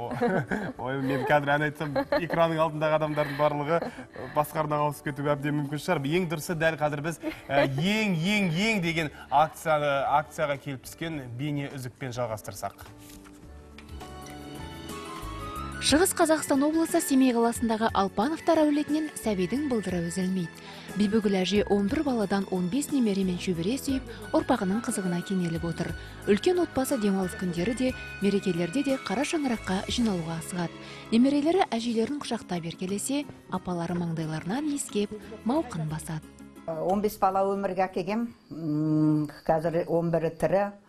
Енді семейдің полигонының зардабынан төрт балам өмірден озып кетті кішірек кезінде. 11 бала қазір осы семей қаласында тоғызы тұрады оқиды. Біреу астанада біреу алматыда. Енді 11 баланы өмірге әкелу ол мақтан емес оның адам болуы мақтан. Сондықтан бауыржан момышұлы кезінде айтып кеткен екен дүниеде бала үйдегі шу баланың шуына жететін әуен жоқ қазіргі тілмен айтқан, айтқанда э, баланың әуені музыканы айтқан. Сондықтан бұл мен үшін балалардың осы үйде айғайлап улап шулап жатқаны одан артық маған бақыт жоқ. Мен өте бақыттымын. Өйткені э, алты қызым бес ұлым. Аман есен өмір сүріп э, маған немере сыйлап шөбере сыйлап 15 немерем э, бір шөберем бар. Э, соның бар осылардың қуанышын қызығын көру апа деп есіктен жүг- жүгіріп кіргеп келгеп мойныма асылғанда жүрегім езіліп кетеді. Сондай бақытты көріп отырған мен бақытты анамын енді әке- аталары өмірден озып кетті. 27 жанға бас көз болып отырған бибігүл әже балаға қатал. Әрқайсысын қадағалауға уақыт табады ақылын айтады сырласады. Бала шағасы аналарының айтқанын екі етпейді бір жарым айдың ішінде осы баспананы тұрғызып берді. Басты дизайнер де сәулетші де отанасы. Балалардың барлығы жұмылып осы қара шаңырақ қылып мынау кенже бауырлары биыл келесі жылы 11 бітіреді. Осы 11 бітіргенде осы үйде үлкен той жасалсын деп енді осы қазақтың дәстүрі ғой қара шаңырақты. Қалдыратын сосын мінекей өзім осының барлығын өзімнің ойлауыммен жасалды. Мына оюлар ә, өзім мынау шаңырақ барлығын өзімнің жобам бойынша айтылып жасалынды. Мен осы отбасының тоғызыншы баласымын. Анам Ал- алпанова бибігүл. Мені 44 жасында дүниеге әкелген. Көпбалалы отбасында өткеннің көптеген жа- жақсы жақтары бар. Балалар біріне бір біріне үйімшіл болып келеді бір біріне қамқор болып келеді бір бірімен сырласып сырын бөлісе алады. Үлкен семьяға келін болып түсу қалай дегендей. Жоқ бірақ құдайға шүкір бәрі жақсы қабыл алды. Өздерінің қыздарын да жақын тартты. Әлі күнге дейін қыздарын да еркелетіп ә, ә, бір нәрсе болса көмектерін айтып отырады. Ризамыз әжем бізді кішкентай кезімізден бері өсіріп қақты ә, бәрімізге бірдей қарады. Және де ә, осы тату, ә, татулығымыз мейірімділігіміз осы әжемнің арқасы. Балалары астана мен алматы және семей қалаларында тұрады. Үйдің үлкені 40 жаста болса ең кішісі 17-де бибігүл алпанова балаларының алтауын 40-тан асқанда ал ең кенжесін 50 жасында дүниеге әкелген. 11 бала деген кезде барлығы таңғалады мысалы мен назарбаев зияткерлік мектебіне қосымшаға барып жүрген кезде ә, яғни шетелден келген адамдар былай деп сұрады. Сенің отбасында қанша адам тұрады? дегенде мен ағылшынша six sister four brother деген кезде ол кісі таңғалып қалды. Яғни сен ә, қасындағы көмекшісіге сіз оны аударып түсіндіріп жіберіңізші деп маған айтты. Ана кісіге. Одан кейін ол кісі айтты менен аударып сұраған кезде мен айттым шынымен де он бір бала менің алты апайым төрт ағам бар дегенде олар таңғалып қалды. Қара шаңырақ менікі болғандықтан мен енді өзімнің болашақ жарым жарымды осы анамның анамды әрқашан аялап өскен қалаймын әрқашан келін болғандықтан ол анамның айтқандарын тыңдап анамның айтқанын әрқашан бұлжытпай орындап анамды бір жұмыс болса барлығын істеп анамды күтсе екен деймін. Анасын әрбір бала сыйлау керек. Өйткені сен жұмақтың кілті ананың табанының астында деп барлығы айтып жатады. Сондықтан да ананы сыйлаған адам әрқашан жолы болушы еді балалары бір біріне қамқор бір жұдырығым ұлдарым енді бірі қыздарым дейді батыр ана. Той томалақтарда да жұмыла көтерген жүктің жеңіл екені байқалады. Жақында ғана шілдехана тойларын атап өтіп шөбересінің алақанынан су ішу бақыты бұйырды. Шөберемнің қолынан биттей су ішуге алла тағала мына алла тағала нәсіп етті шөберемнің қолынан су іштім. Аллаға ризамын сендерге де ризамын балаларым осындай бақытқа жеткізіп жатқан 68 жастағы бибігүл алпанова қоғам өмірінде де белсенді. Салт дәстүрді насихаттап өнеге көрсетуден жалықпайды. Жас отбасылар ананың алғысын алуға арнайы келеді.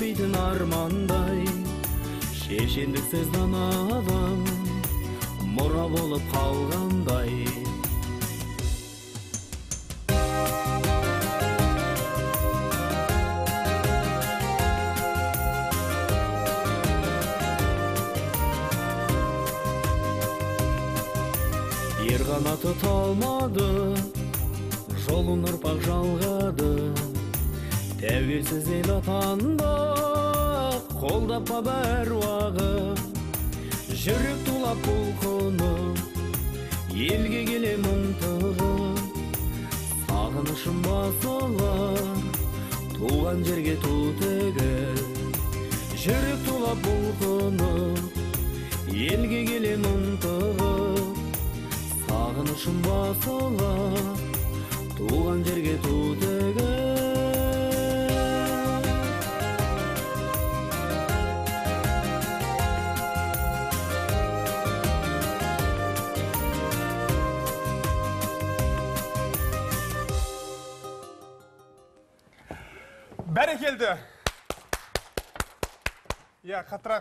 ы, қошемет көрсетіп қояйық.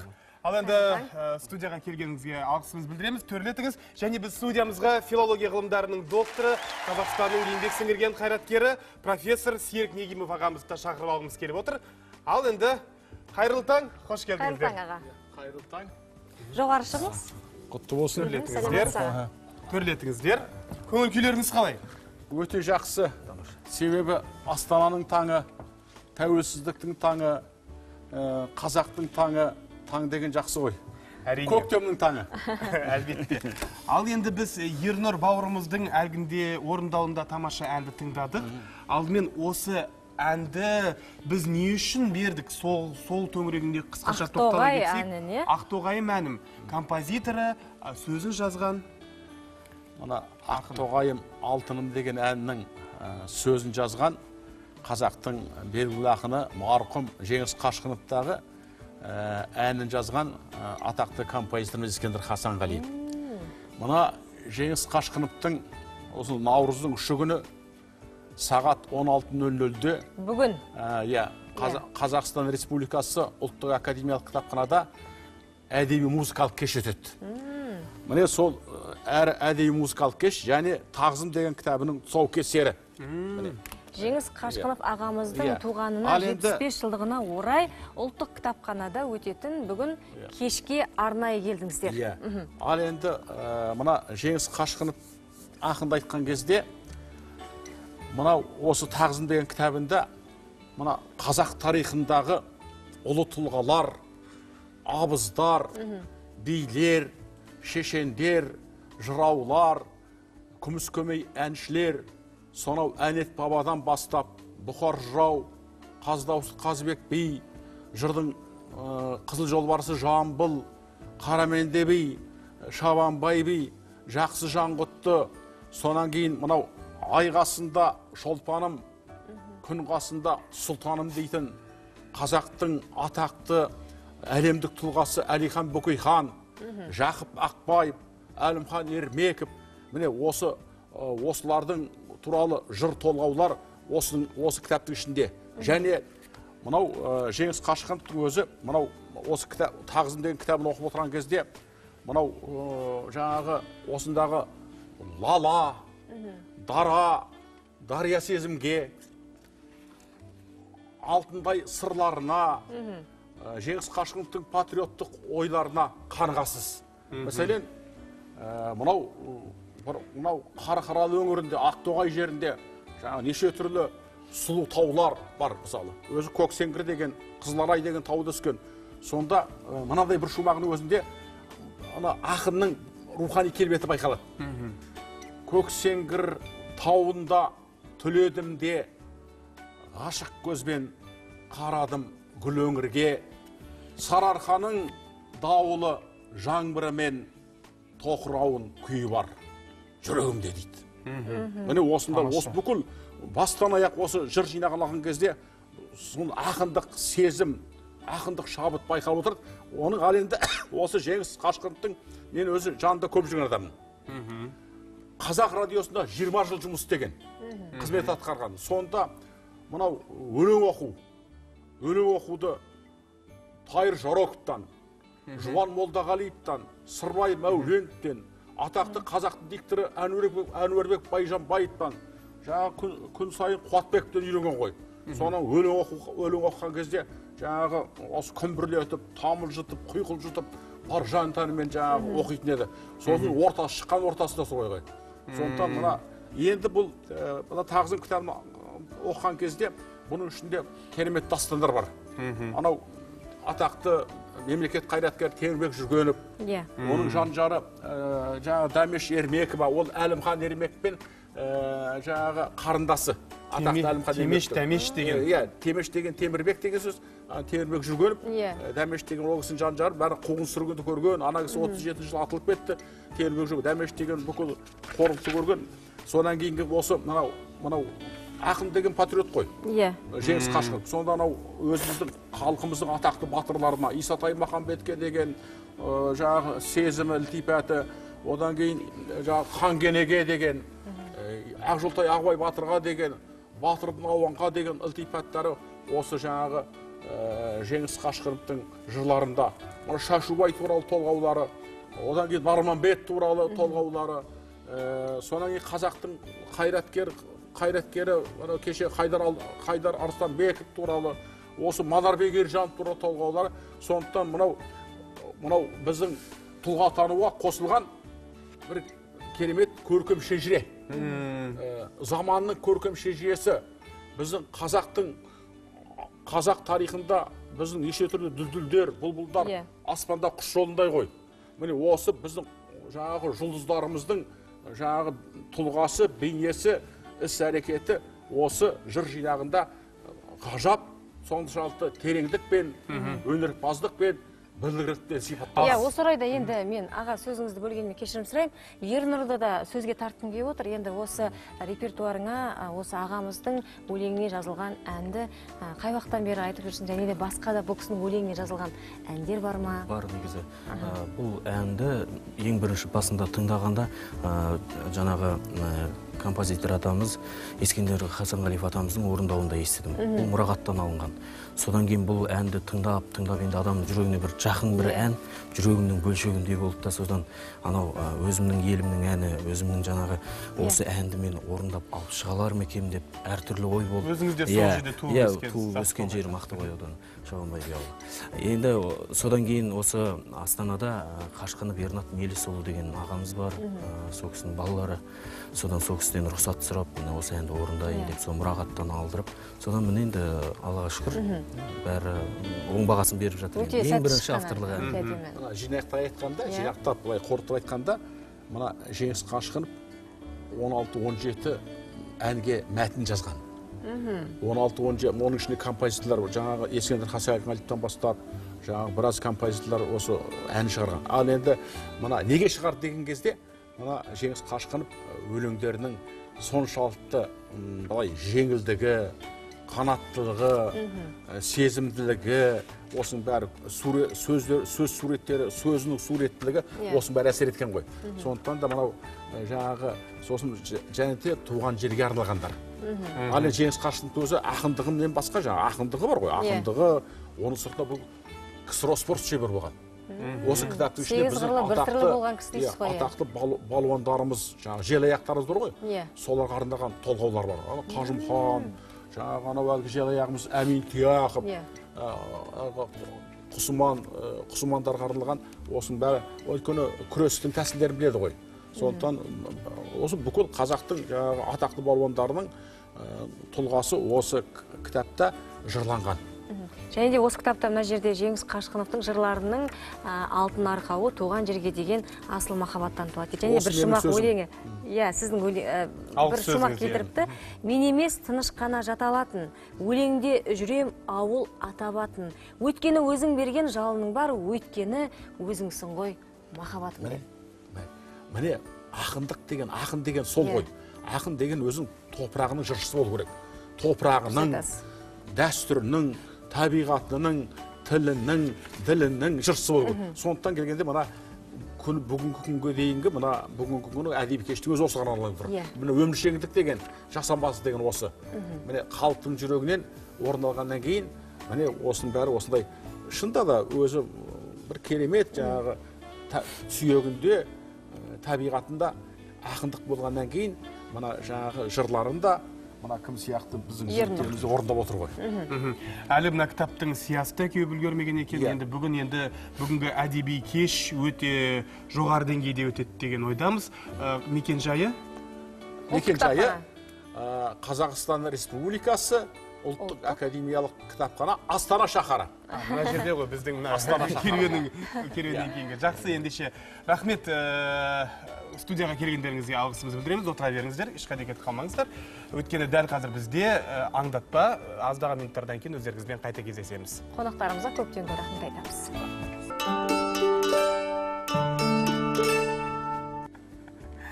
Таңшолпан эфирде ұлттық арна Ә, бізге қазір ғана қосылған көрермендеріміз болса орта толсын ағайын дейміз. Ал біз жалғастырамыз бағдарламамызды одан әрі Иә, қарай. біз осы аптаны кино тақырыбына арнаған болатынбыз қымбатты көрермен. Және де ә, біз ә, қазақ киносындағы қаншама түсірілген тарихи фильмдерден бастап фильмдердің бәрін ә, білеміз көріп жүрміз. Және де менің ә, ең маған ұнаған кино менің атым қожа деп айтқан болатын. Ал саған ұнайтын киноны маған ұнайтын кино маған ұнайтын кино гауһартас негізі. Гауһартас фильмі ә, менің ойымша беу тек- беу гауһар тек маған ғана емес ол бүкіл көрермендерге де ұнайтын шығар деп ойлаймын.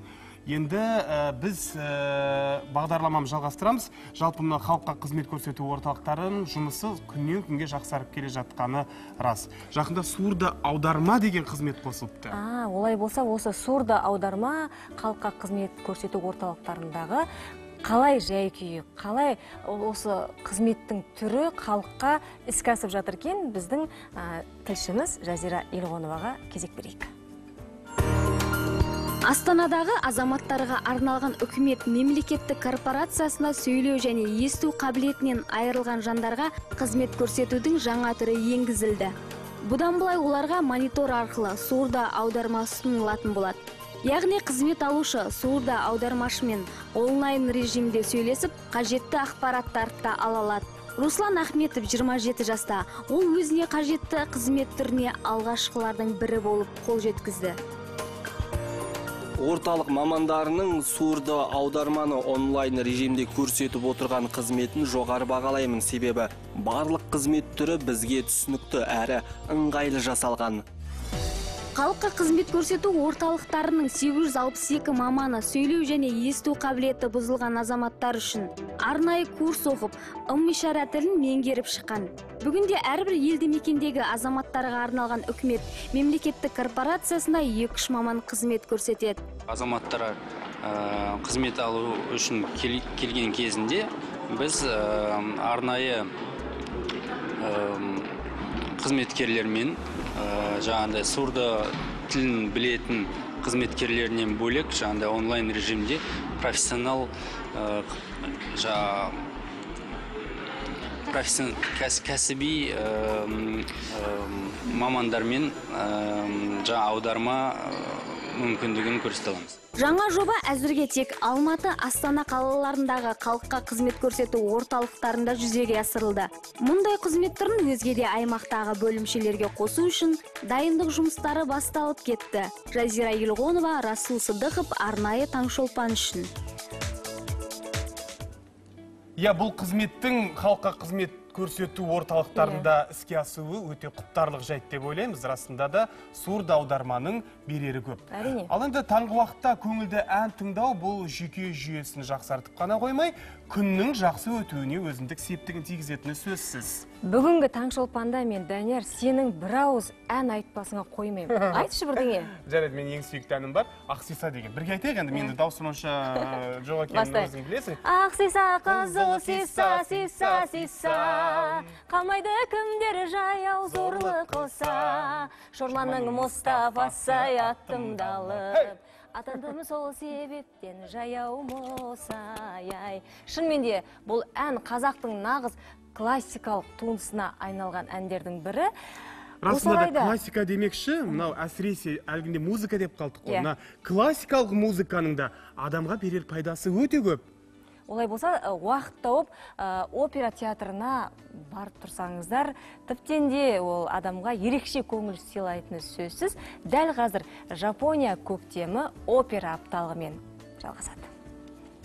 Астанада жапон көктемі өнер фестивалі 2011 жылдан бері өткізіліп келеді. Жапонияның қазақстандағы елшілігінің қолдауымен дегдар гуманитарлық қоры ұйымдастырған шара көктемнің алғашқы күнінде астана опера театрында қалың көрермен назарына ұсынылды.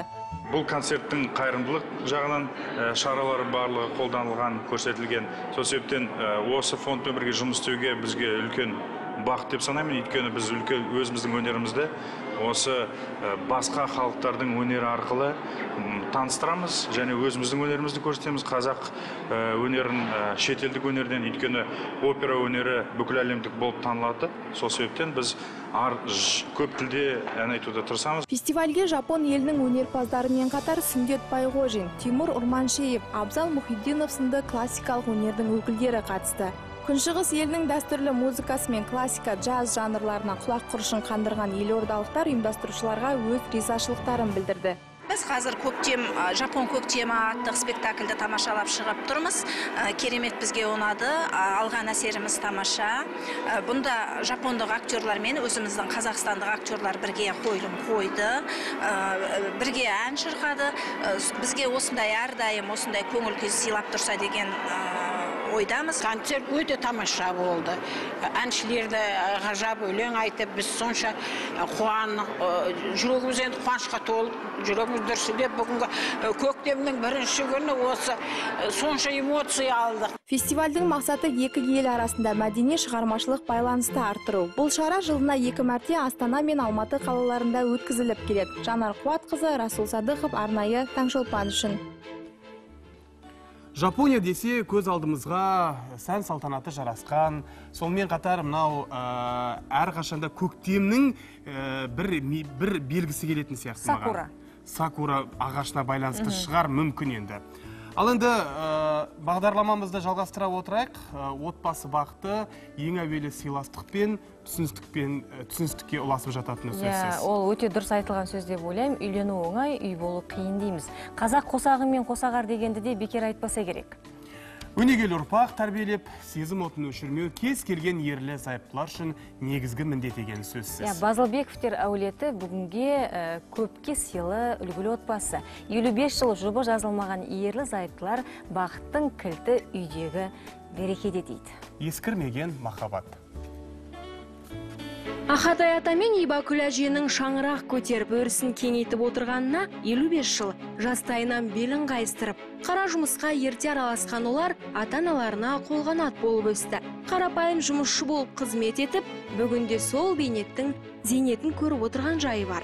Жеткізіп осы қалға жеткіздік. Қызығын көріп отырмыз міне балаларымыздың. Той жасап беріп жатыр 45 жылдық бір жасады 50 жылдық 5 жылда бір той жасап тұрады әйтеуір енді міне қариямыз мен екеуміз сол құдайдың берген балаларының қызығын көріп отырмыз енді. Біреуіміз 80-ге келдік біреуіміз 77-деміз құдайға шүкір. Қол ұстасып осы уақытқа дейін бірге келе жатырмыз он баланың тоғызынан 17 немере екі шөбере сүйіп отырған ахатай қария мен ибакүл әже қазір астана қаласында тұрады. Демалыс күндері бала шағасы бір дастарханда бас қосып кішігірім мейрам болады. Осы асқартайдай әкемізбен осы ақжаулықты анамыздың арқасында осындай жетістіктерге жетіп жатырмыз. Осындай бәріміз енді ә, білім алға білім алып осы осы өмірдің бір кірпіші болып қаланып жатырмыз әр салада. Ертеңіне арттарынан біз ізіміз қалып отқан мінекей.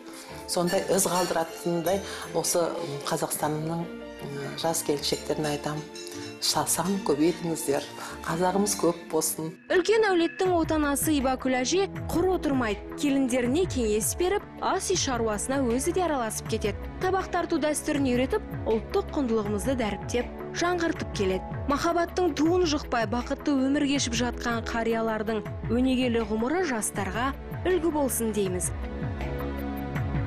Ботагөз совет қызы қошқарбай қалиев серік ниязалиев арнайы таңшолпан үшін. Иә ұлттық арнада таңшолпан әрі қарай біздің қонақжай студиямызда жалғасады. Бүгінгі біздің қонақжай сту- студиямызда құрметті қонағымыз бәрімізге белгілі қазақ елінің тарихында аты ойып тұрып жазылған ағамыз жақсылық үшкемпіров ағамыз тұңғыш олимпиада чемпионы қазақстан республикасына еңбек сіңірген жаттықтырушы аға қайырлы таң. Қайырлы таң. А, алматыдан арнайы соны ат басын астанаға бұрып отырсыз. Енді астанаға келуіңіздің де өзіндік бір себебі бар екен. Кеше ә, үлкен ә, шара өтті. Мына тұңғыш президент музейінде көрме өтті. Ұлттық олимпиада комитетінің құрылғанына 25 жыл толуына арналған. Осы туралы өзіңіздің аузыңыздан естісек. Әрине қуаныштымын енді. Өмір деген өткен өтеді де кетеді дейді. Сондықтан да әрине совет одағының қи кезеңдерінде біздің істеген еңбегіміз ол қазақ елінің дүниеге танытқанымыз сонау сексенінші жылы москва олимпиадасында ә, серік қонақбаев бауырымыз екеуміз біреуміз алтыннан біреуміз күмістен дүниежүзінде қазақ халқының кім екенін таныттық ол тарих болып қалды. Иә. Ал енді мінекей өзіміз егеменді ел болып тәуелсіз мемлекет болып ә, шіркін осының маңызы осының құдіреті ә, кейбір жастар түсінбейтіндігі ал бірақ бізге деген ол өмір бақи ұмытпайтын нәрсе ол тарих болып қалды. Бұған жеткен дармаған да жетпеген дарман да дейді. Сондықтан да мен өте қуаныштымын. Кеше мені ардагер ретінде спорт ардагері ретінде шақырып ә, бірінші сөз беріп жастарға үлгі ретінде мені алып келіп көрсеткеніне оған да бір мен рахметімді айтамын. Сондықтан да кеше өте жақсы өтті. Ә, қаншама жастар келіп мен бірге суретке түсіп ә, сол жерде пікір алмасып бірімізге біріміз мінекей біздің қаншама кейінгі біздің өркеніміздің өскендігі қаншама елбасының спортқа деген құрметі қаншама спорт кешендері салғандығы оның бәрі кім үшін? Оның бәрі ұрпақ үшін. Иә. сондықтан да біздің ұрпағымыз ұрпағымыз мықты болады. Мен оған сенімім мол. Менен кейінгі сол ұрпақтар мен сияқты әлемнің олимпиаданың чемпионы болады. Мен оған кәміл сенемін. Сондықтан да мен бақыттымын. Иә шынымен де сіз өте бақытты жансыз аға.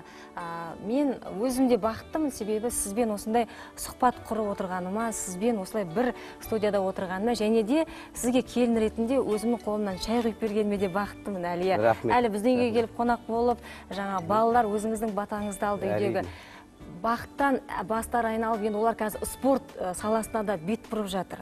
Сол сияқты жаңа өзіңіз айтпақшы болашақ ұрпақ біздің сіздер салып кеткен сара жолмен әрі қарай еліміздің көк туын талай әлемде желбіретеді деген біздің сеніміміз мол. Және де өсіп келе жатқан ұрпақтарға ә, өзіңіздің ағалық аталық ә, тілегіңізді айтсаңыз. әрине жаңағыда қосып айтатыным иә. қазіргі кезеңде қай шетелге шықсақ та қалай барсақ та ә, біздің туымызды желбірететін азаматтар әлі көп болады. Иә. сондықтан да біз бақыттымыз деп отырмыз ғой. Иә. сондықтан да ә, біздің бабаларымыз аңсағанымыз арман еді біз сол арманға жеттік. Міне қазір біздің кемелденген шағымыз біздің еліміздің. Бұдан артық бақыт жоқ. Бұны осы біз бағалай білуіміз керек. Сондықтан да мінекей біздің еліміздің туын желбіретіп әрбір олимпиада ойынына әлем біріншілігіне азия ойынына қазір өзіміз мемлекет болып шығып жатырмыз бұның бәрі жайдан жай емес. Бұл біздің бабаларымыз аңсаған арманы болған. Біз соған жеттік. Сондықтан да сондықтан да. Қазір біздің азаматтарымыз әрқашан біздің әр, әр өнерімізді ойнатып бүкіл әлемге қазақ халқының кім екенін таныта біледі. Біз соған бақыттымыз. Жақсылық ағамызға қояр сұрақтарыңыз болса біздің тікелей эфирге хабарласуға мүмкіндіктеріңіз бар. ал жақсылық аға олимпиада чемпионының таңы қалай атады? Сіздің таңыңыз қалай атады жалпы әрине бұл енді бұл атаққа жету де оңай емес қой енді. Қаншама олимпиада тер төгу керек иә. қаншама олимпиада деген ол бір құдірет нәрсе деп айтуға болады. Ә, оған жету бүкіл біздің ұрпақтың арманы. Сондықтан да оларға мен ақ жол тілеймін. Бұл әрбір атқан таңымыз енді осы таң шолпан программасындай болса деп тілеймін Ой, рахмет әрине сондай күліп ойнап күн жарқырап сондай бір жақсы өмір сүрсе екен біздің ұрпақтарымыз деп ойлаймын сондықтан да біз бақыттымыз иә енді осы орайда ағамыз ә, сіздер ә, кеңес одағы кезінде осы олимпиадаға қатысып еліміздің ә, туын желбіреттіңіздер қазақстанның атын бүкіл әлемге паш еттіңіздер. Ал қазіргі біздің тәуелсіз заманда тәуелсіз мемлекетімізде өмір сүріп отырған біздің жастарымыз елбасымыздың арқасында талай мүмкіндік жасалып жатыр. Бізге тек қана жұмыс істеу керек қой тоқтамай. Әрине енді қазіргі жастарға мүмкіндік бар. мүмкіндік көп қой. Жағдай жасалған. Барлық жағынан. Иә.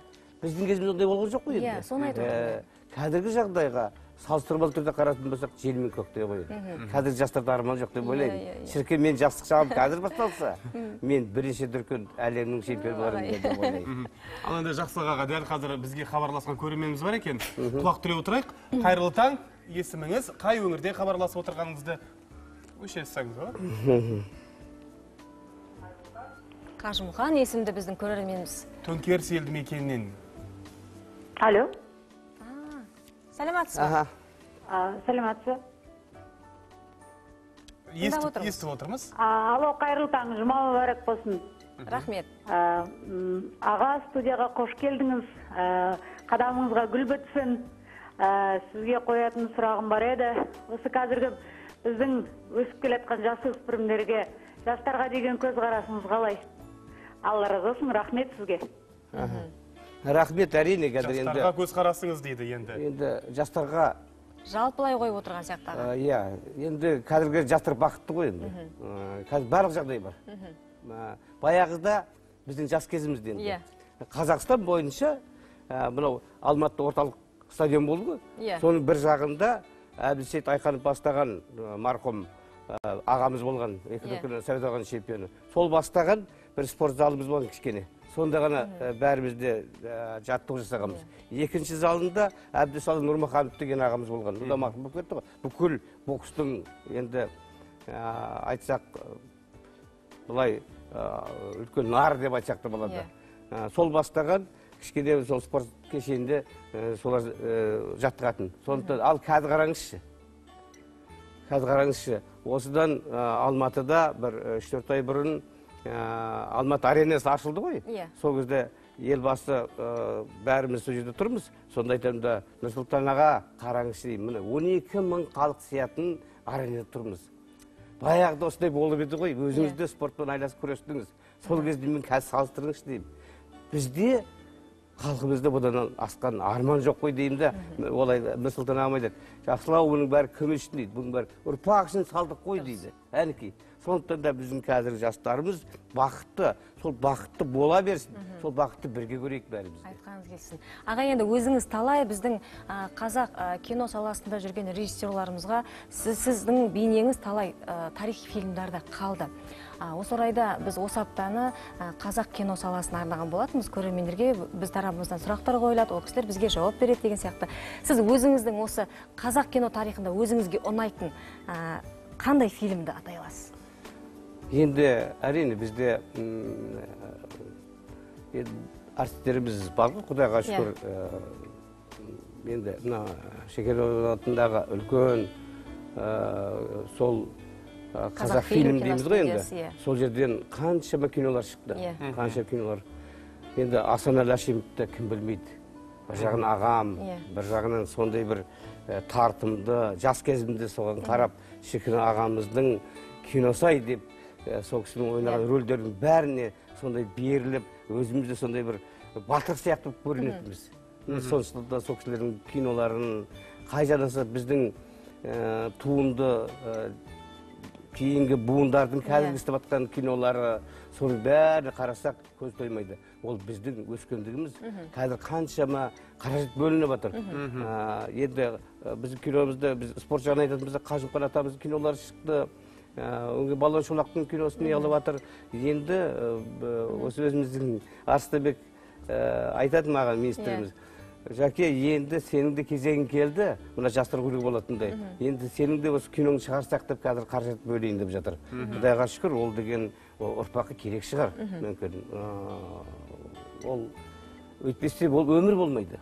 Сондықтан да біз бірімізге біріміз қарап Иә. ә, біз үлкен өнегелі азаматтардан сондай бір өнер алып ары қарай біз дамуымыз керек. Сондықтан да мен жастардың алдында қолымнан келгенше ә, соларға өздерім өткен өмірімді қалай мен осы үлкен табысқа жеткенімнің бәрін айтып отыруға тырысамын әрине. Енді осы орайда біз ә, мен таңғы бір тілегімді айтқым келіп отыр аға өзіңізге арнап. Жаңа өзіңіз айтып жатырсыз қажымұқан атамызға арналып балуан шолаққа арналып талай фильмдер түсіріліп жатыр тарихи фильмдер. Сол сияқты болашақта сізге арнайы сіз туралы осы тарихи фильм түсірілсе екен деген тілегіміз бар. Рахмет рахмет. Иә. Ол фильм ә, біздің ә, қазақ тарихында алтын әріптермен жазылатыны сөзсіз. Жақсылық аға студияға келгеніңізге алғысымыз шексіз. Деніңізге саулық тілейміз. Әрқашанда тек өзіңізді биіктерден көріп жүре берейік. Ағамызға денсаулық тілей отырып қымбатты көрермендер тағы да өздеріңізге айта кетейік. Бүгінгі біздің таңғы қонақжай студиямыздың құрметті қонағы тұңғыш олимпиада чемпионы қазақстан республикасына еңбек сіңірген жаттықтырушысы жақсылық үшкемпіров ағамыз болатын. Көп рахмет аға сізге. Ал біз бағдарламамызды одан әрі қарай жалғастырамыз. Әдемі. Әдемі ән сіздердің құрметтеріңізге.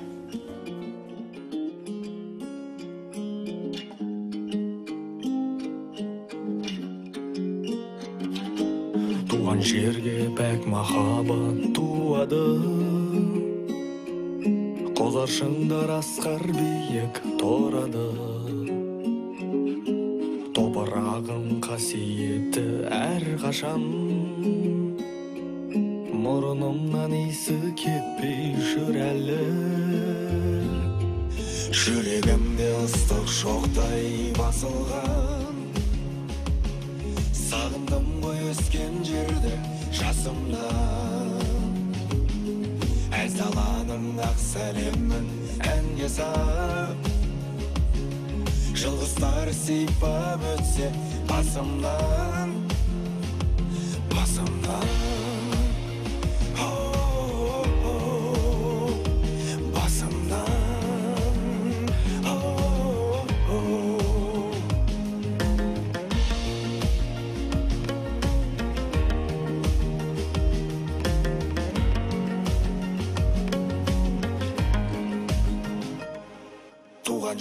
қымбат маған тау дала алтын бесік жер жәннаты аумағы балалығым балғын берім сенді өткен қыранына құштар болып самғаған сағынышым тасқын судай тасыған сағындым ғой өскен жерді жасымнан әр саланың ақ сәлемін әнге сап жұлдыздар сипап өтсе басымнан басымнан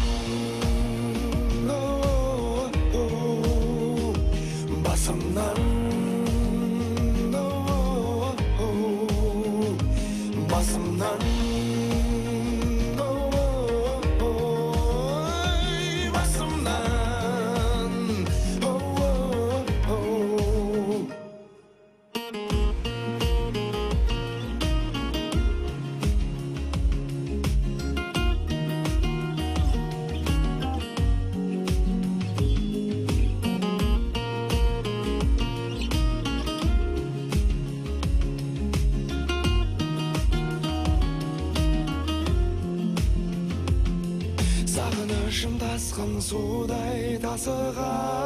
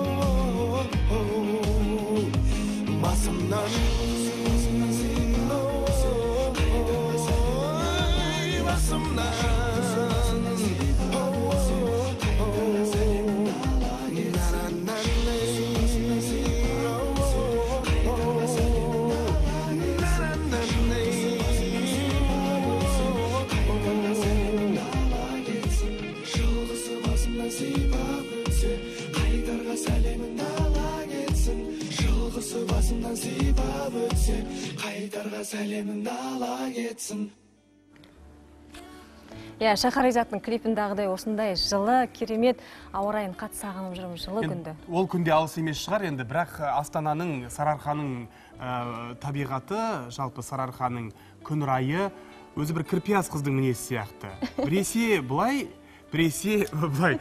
Кез келген уақытта еркелеп ә, мынау көктем келе жатыр деп кеше ғана бүкіл әлемге Жар салып едік енді.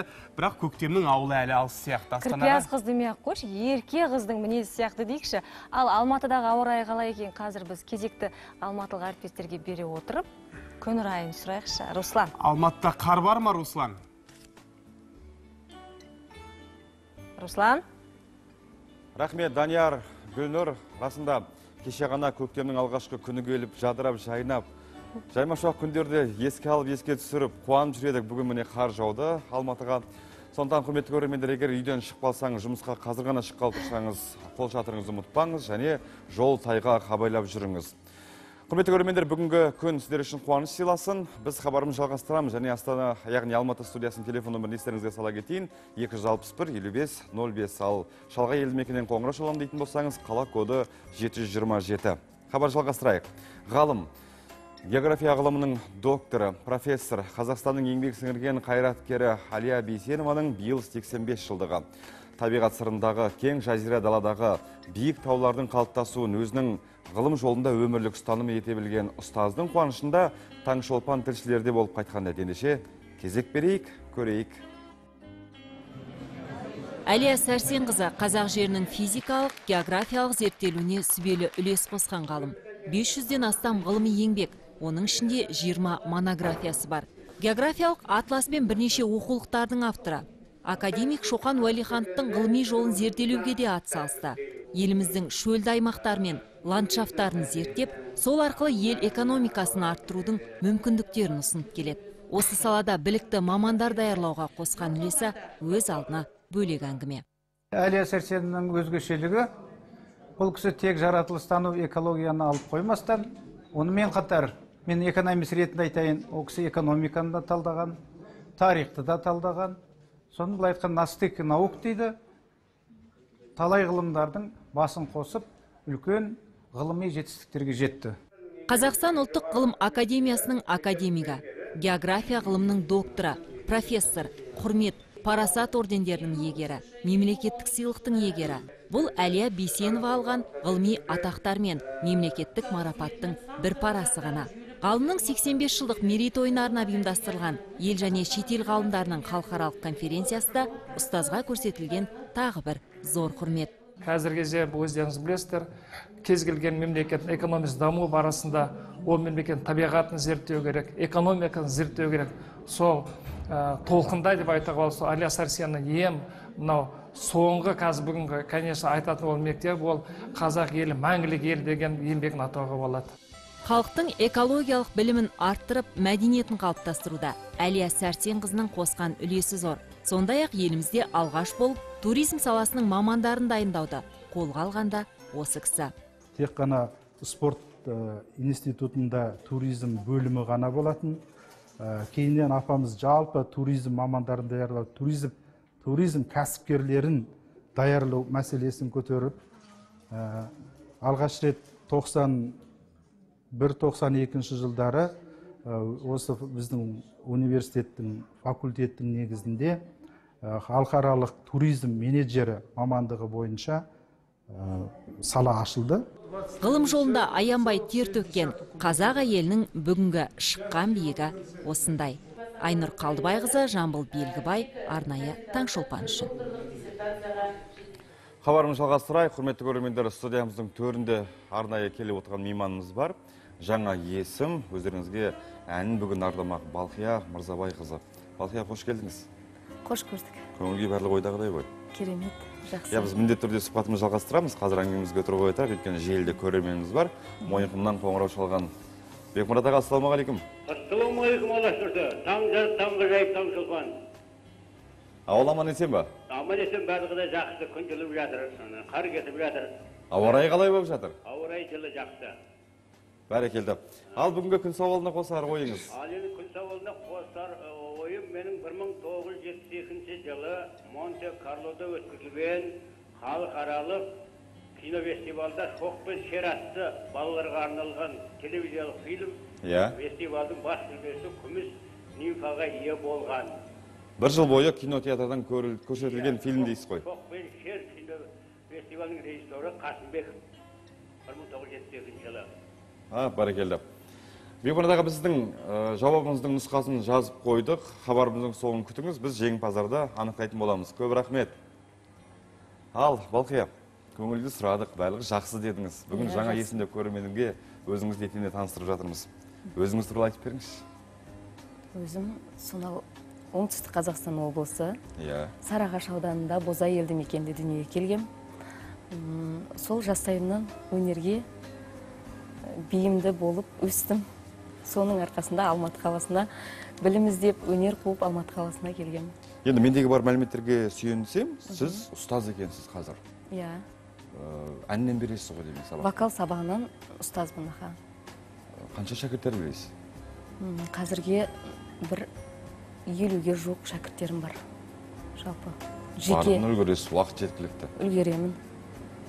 Енді өзіңізді байқауда сынап көрдіңіз бе? Байқауларға қатыстыңыз ба Ә, кішкентай кезімнен мектеп қабырғасынан бастап жалпы байқауларға қатысып жүрдім. Осы күнге дейін де болып жатқан байқауларға қатысып жүрмін. Ай бәрекелді. Енді қазір ғана желіде біздің тағы да бір көрерменіміз бар. Шығыс қазақстан өңірінен хабарласқан семейден қоңырау шалған еркебұлан есімді көрерменіміз. Ал еркебұлан байланыстасыз. Ассалаумағалейкум. Уағалейкум ассалам қайырлы таң қазақ елі. Қайырлы таң таңшолпан бағдарламасы. Қайырлы таң. Мынау кең болсын қазағымның керегесі кетпесін алла берген берекесі күндеріңізге сәттілік тілеймін. Жұма күні әріп болсын.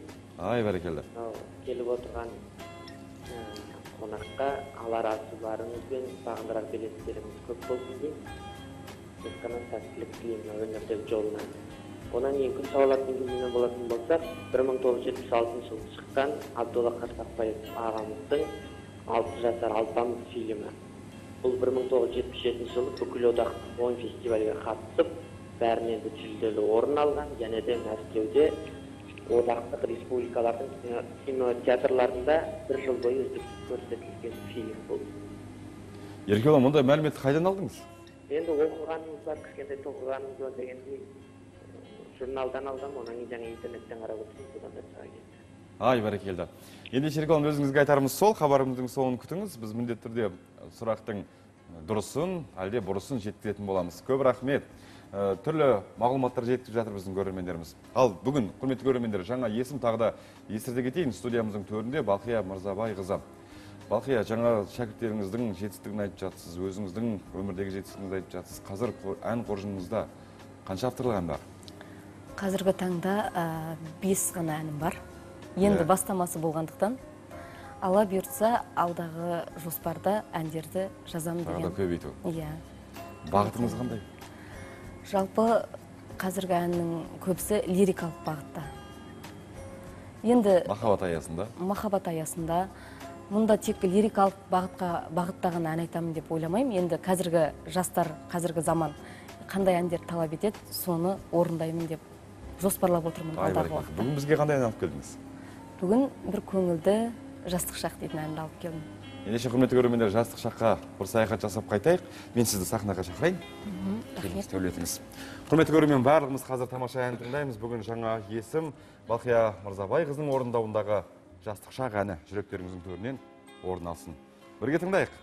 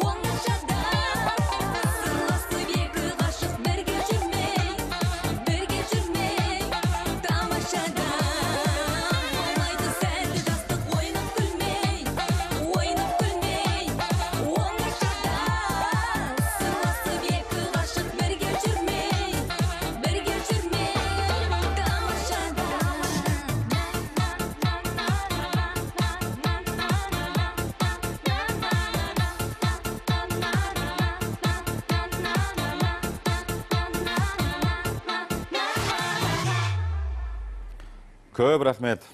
Құрметті көрермендер тағы да айта кетейін бүгін студиямыздың төрінде жаңа есім балқия мырзабайқызы жастық шақ деген әнін орындаған болатын. Көп рахмет. Рахмет. Ә, ұлттық арна көрермендеріне қандай тілек айтасыз? Әрдайым таңымыз шуақты болсын нұрлы болсын еліміз тыныш бақуатты болсын. Айтқаныңыз келсін. Біз де сізге шығармашылық табыстар тілейміз. Өсе беріңіз өне беріңіз. Тамаша осындай әндеріңізбен халықтың көңіл күйін көтере беріңіз дегім келеді көп рахмет. Сіздерге де шығармашылық табыс тілеймін. Рахмет. Айтқаныңыз келсін өзіңіз шығарып салайық. Жиі келіп тұрыңыз бізге. Құрметті көрермен хабарымызды жалғастырамыз және хабарымыз астана студиясынан жалғасын табады бүгінгі күн сіздер үшін қуанышқа толы болсын. Кезек өздеріңізде астана. Көп рахмет руслан. Ә, бүгінгі жұма ә, барлық алматылықтар үшін барлық көрермендер үшін мүбәрәк болсын дейміз. Алдағы демалыс күндеріңіз жақсы өтсін. Ал біз Таңшолпанның эфирін Астана студиясынан жалғастырамыз. Бүгін күн ә, жұма. аптаның соңына жақындап қалдық Аптаның соңғы Иә. күндерінің бірі. демалатын күндер жақындап қалды Демек, Астанада демалатын жер әрине өте көп. Оны тек байқай білу керек, көре білу керек. Қазір сырғанақ тебуге болады. Енді қыстың соңғы айында осы қысты жақсылап шығарып салған дұрыс шығар. Қыстың соңғы ай деп қоям. Қар, қар жатқан кезде деген дұрыс сұрақ Иә. шығар енді. Оның дұрыс енді біздің қазақстанда қандай демалыс орындары бар оны бәріміз жақсы білеміз бірақ соның ішіне барып көріп қайтқан біздің тілшіміз әсем қонысбектегі қай өңірге барғанын дәл қазір біздің таңшолпанның эфирінен көре аласыздар Ақмола облысы Зеренді демалыс аймағындағы сапарымыз ары қарай жалғасады. Зеренді көлінің айналасында шипажайлар мен сауықтыру кешендері көп. Солардың бірі Сұңқар сауықтыру кешені. Орталық келушілерге емдік ванналармен жақсы таныс. Қылқанды, сан түрлі теңіз тұздарынан тұратын ванналармен қатар, мұнда емдік шөптен жасалған ванна да бар. Сұңқар сауықтыру кешенінің басым ербекесі Әсемгүл Исабекова бізді мұнда көрсетілетін қызмет түрлерімен таныстырып өтті. Это ванна для подводного душа массажа. Бұл суасты массажына арналған ванна. Әуелі ванна ішіне су толтырамыз. Негізі массаж 15-20 минут жасалады. Дегенмен біз адамның денсаулығына да баса назар аударамыз. Су ішіндегі емделушіге мына құрылғының көмегімен массаж жасаймыз. Это состояние человека. Иә, бұл кешенге келушілердің дені бұғымүйіз ваннасын қабылдайды. Ваннаның бұл түрі әсіресе ағзаны қалыпқа келтіруге, иммундық жүйені көтеруге бірден бір ем. Айта кету керек, аталмыш орталықта емдік ваннаның алты түрі бар.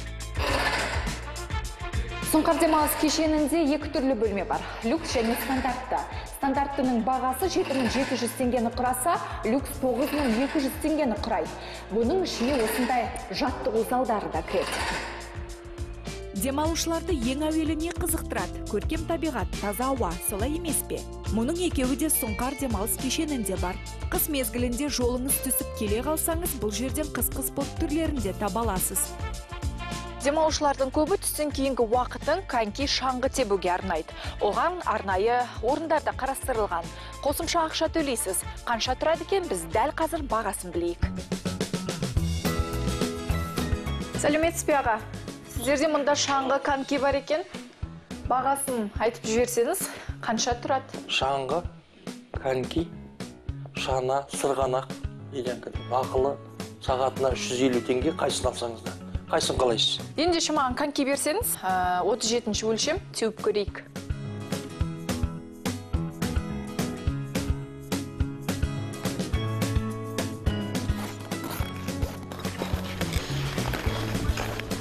коньки тебу арқылы сіз денсаулығыңызды жақсартып қана қоймайсыз. Жақсы көңіл күйде де жүресіз. Мен сияқты енді коньки тебуге ебі жоқ адамдарға бұл жерде арнайы мамандар үйретеді екен. Келсеңіз болады міндетті түрде Көкшетау ұлттық саябағында орналасқан демалыс кешені жазда балалар лагерін ұйымдастырады. Жыл сайын 2000-ға жуық баланы қабылдайтын демалыс орнына еліміздің әр өңірінен келетін балғындар көп.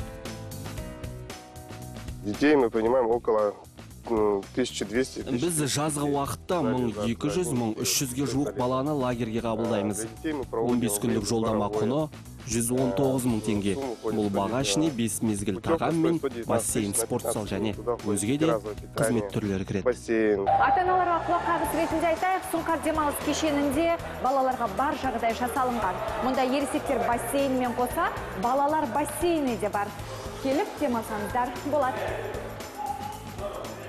144 орындық нысанда үш мезгіл тамақ беріледі. Кешен аумағында баскетбол, волейбол, футбол ойнауға арналған алаңдар да бар. Білесіз бе, мұнда демалуға келген адам Бурабай ұлттық саябағына барып саяхат жасай алады. Ол жағы да қарастырылған. бос уақытыңыз болса сіз мұнда боулинг және бильярд ойнай аласыз боулингтің бағасы мың жарым теңге ал бильярдтың бағасы 500 теңгені құрайды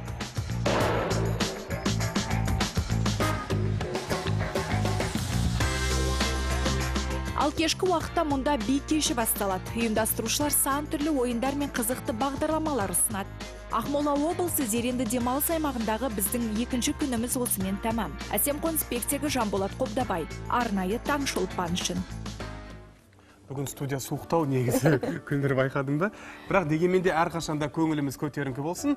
Әлемнің 200-ге жуық қаласында тұрғындар метро қызметін пайдаланады екен. Ең алғашқы метро жолы 1863 жылы лондонда ашылыпты. Әлемдегі ең ұзын метро ә, мәскеудегі ә, тимирязевская метро жолы. Оның ұзындығы 41 километр. Ал ең арзан метро солтүстік кореяда екен. Бағасы 3 цент қана.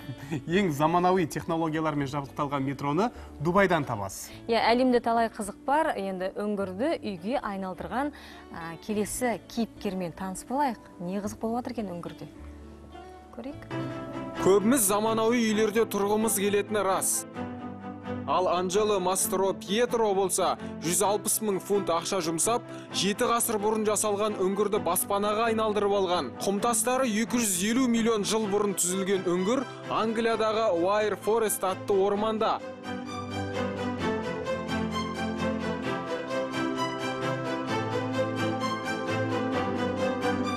38 жастағы анджело құрылыс жұмыстарын өзі жүргізіпті.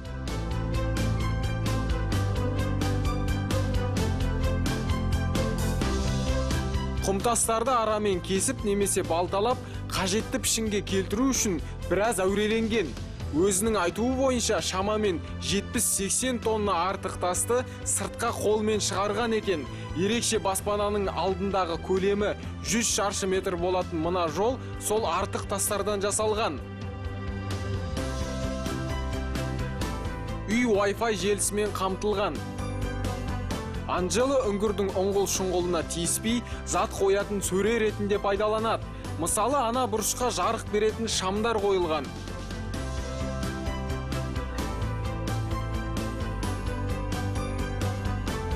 Жуыну бөлмесінің едені жылыту жүйесімен қамтамасыз етілген.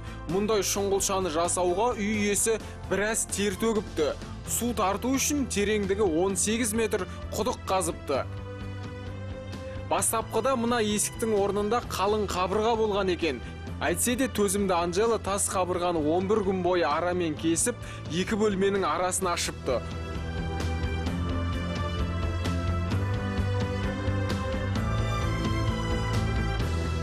Қожайын өзінің баспанасын мақтан тұтады.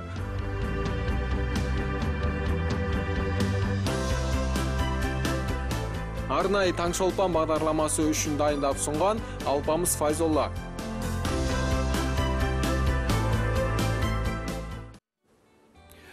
Әлемде жаңалықтар өте көп екен гүлнұр. Мына жерде егемен қазақстанның жаңа санында ә, көптеген ә, мәліметтер бар. Енді бірақ ә, негізі уақыт келіп қалған сияқты жаңалықтар. Ұлттық арнада таңшолпан ә, біз бүгін өздеріңізге кино саласында арналған күн сауалын жолдаған болатынбыз. Бүкіл одақтық 10 фестивальде жүлделі орын алып және де бір жыл бойы ә, барлық кино театрларда көрсетілімі көрсетілген. Фильмді яғни киноны білесіз бе деп күн сауалын жолдаған болатынбыз. Сол күн сауалын дәл қазір қорытындылайтын сәт келді. Ендеше біз дұрыс жауабын айтайық. Бұл фильм бүкіл одақтық 10 фестивальге қатысып бәрінен жүлделі орын алған. Оның аты фильмнің аты алты жасар алпамыс фильмі. Одақтық ә, республикалық ә, кинотеатрларда бір жыл бойы үздіксіз көрсетілген алты жасар алпамыстан басқа қазақ киносында бір жыл бойы кинотеатрларда аншлагпен жүрген фильм болмапты гүлнұр. Олай болса бүгін ә, жеңімпаз атанған кісілердің атын дәл қазір атайтын сәт келді ендеше атайық. Бірінші орыннан бірінші бастайық бірінші орынға бізде керемет шәйнек. Ә, тараз қаласынан ә, ватсап желісі арқылы хабарласқан салтанат есімді тыңдарма көрерменімізді құттықтаймыз. Салтанат тараз қаласынан бас жүлдені алдыңыз сіз. Шапалақ қайда деп қояйын да. Иә бас жүлде бірінші орын екеуі бірге Иә. ғой екінші орын. Екінші орын кинопарк желісінде қарайтын кинотеатрларға билет. Астаналық аяулымға бұйырып отыр. Астаналық аяулым осы астана қаласында кинопарк желісінде көрсетіліп жатқан керемет қазір кинолар болып жатыр. Соған сіз билет ұтып алдыңыз жеңіс екі адам көзің Иә. қасыңызға біреу қасыңызда танысыңызды досыңызды ертіп апаруға мүмкіндік бар. Үшінші орын. атыраудағы драма театрға билет. Исата есімді көрерменімізді құттықтаймыз. Демек исатай атыраудан атыраудан болды ғой. Иә, Атыраудан. олай болса исатай ә, жеңісіңіз құтты болсын. Бізге хабарласқан барша көрерменге рахметімізді айтамыз. Ал біз таңшолпанды одан әрі қарай жалғастырамыз.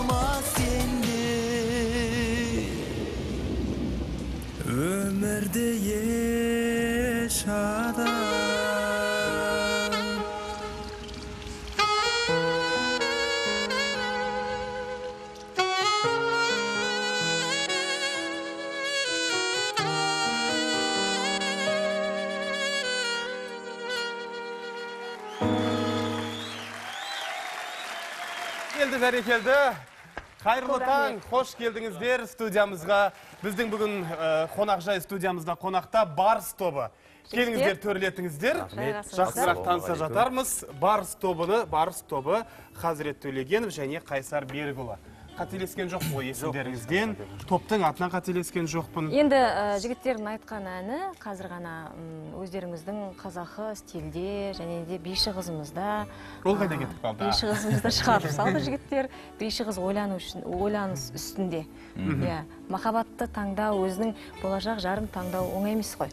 Әрине. Оның үстіне екі жігіт екі жағынан. өздерінің сезімдерін білдіріп ал тұрса. барыс тобы енді құрылғандарыңызға ә, көп бола қоймаса да бүгінгі таңда біздің эстрадамызда аяқтарыңызды тәй тәй басып келе жатырсыздар.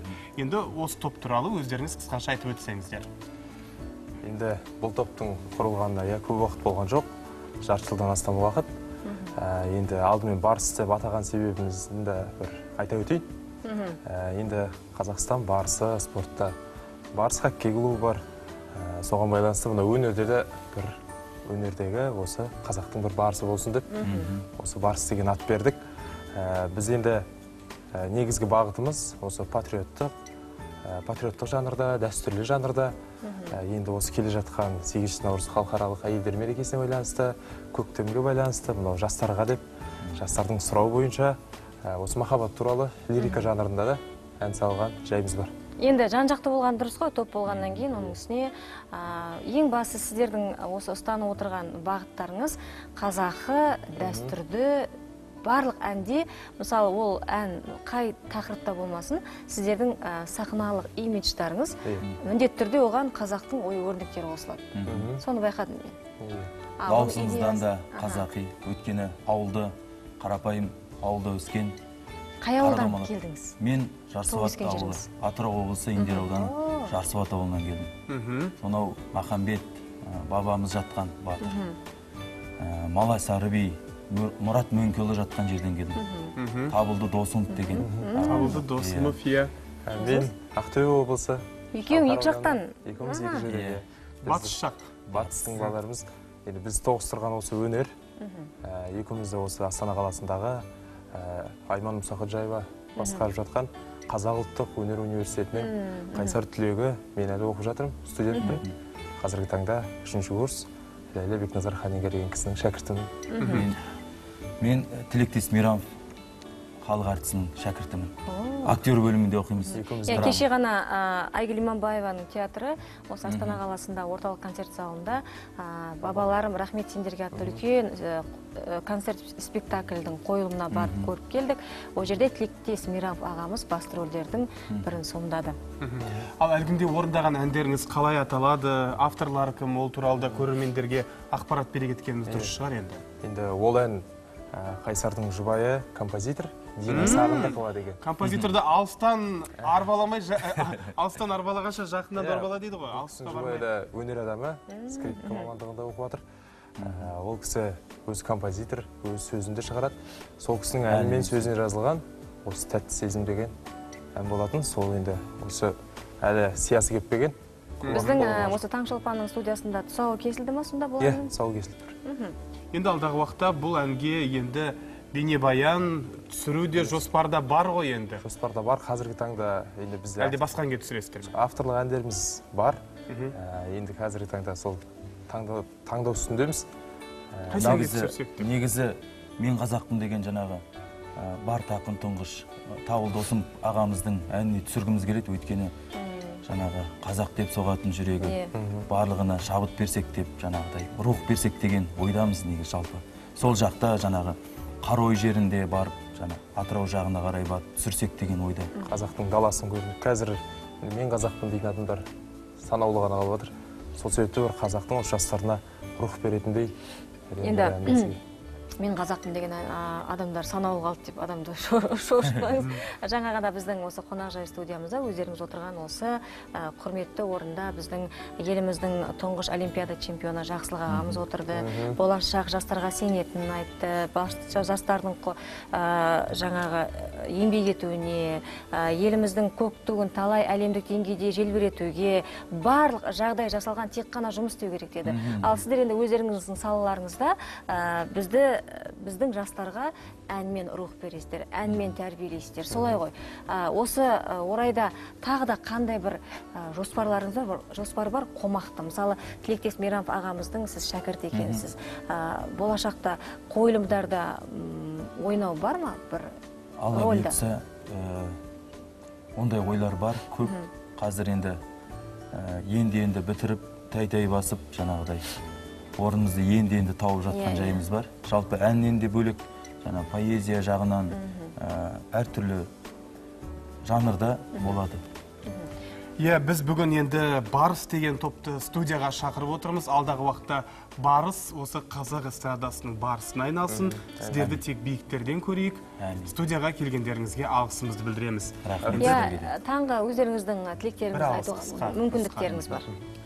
Ал енді барша қазақ елін келе мына жатқан аналар мерекесімен ә, шын жүректен құттықтаймын. Ә, өмірдегі осы сәби сүйіп отқан ә, перзент сүйіп отқан аналарымыз бар қыз келіншектеріміз барлығы барлығына сәттілік тілеймін. Денсаулықтары мықты болсын деген тілегіміз бар.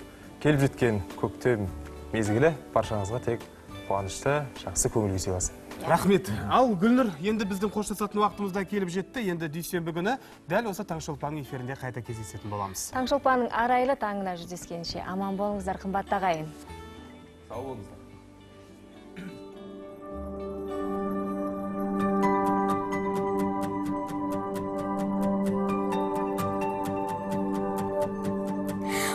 Оятып тау мен даланы тербетіп ән мен қаланы тамылжып таңның атқаны қайырлы таң құрметті көрермен. Біз бүгін кейіпкерімізбен сұхбаттасу үшін арнайы жаттығу залына келдік. Таң шолпан таң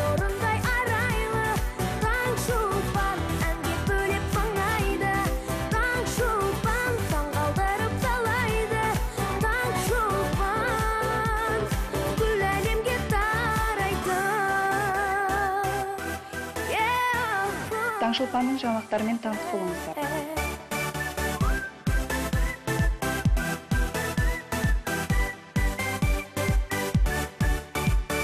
ән мен күйі төгілген сұхбаты сырлы өрілген. Таң шолпан қақса қоңыр қане кепсір каналды үйренетін боламын. жүрегім ай.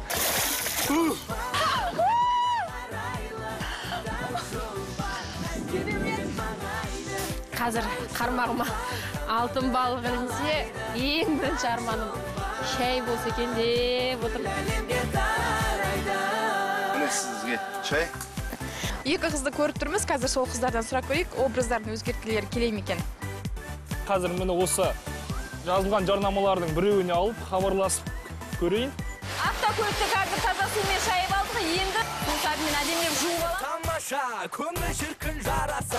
Муайтай әдісі күрестің нағыз гүлдендіріп біз өмірді көтерейік кәне көңілді шырқа биле жасартып туған елім жерімді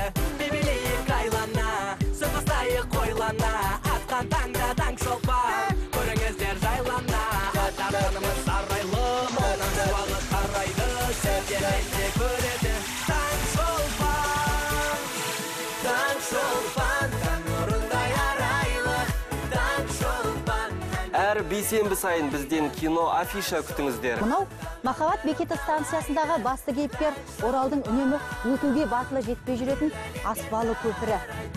Ағымдағы жылы қанша отбасы некелерін заңдастырған екен бірге білейік. Ана атанып бақытқа бөленіп жатқан аяулы жандарымызды мерекелерімен құттықтап хал жағдайларын бірге білейік.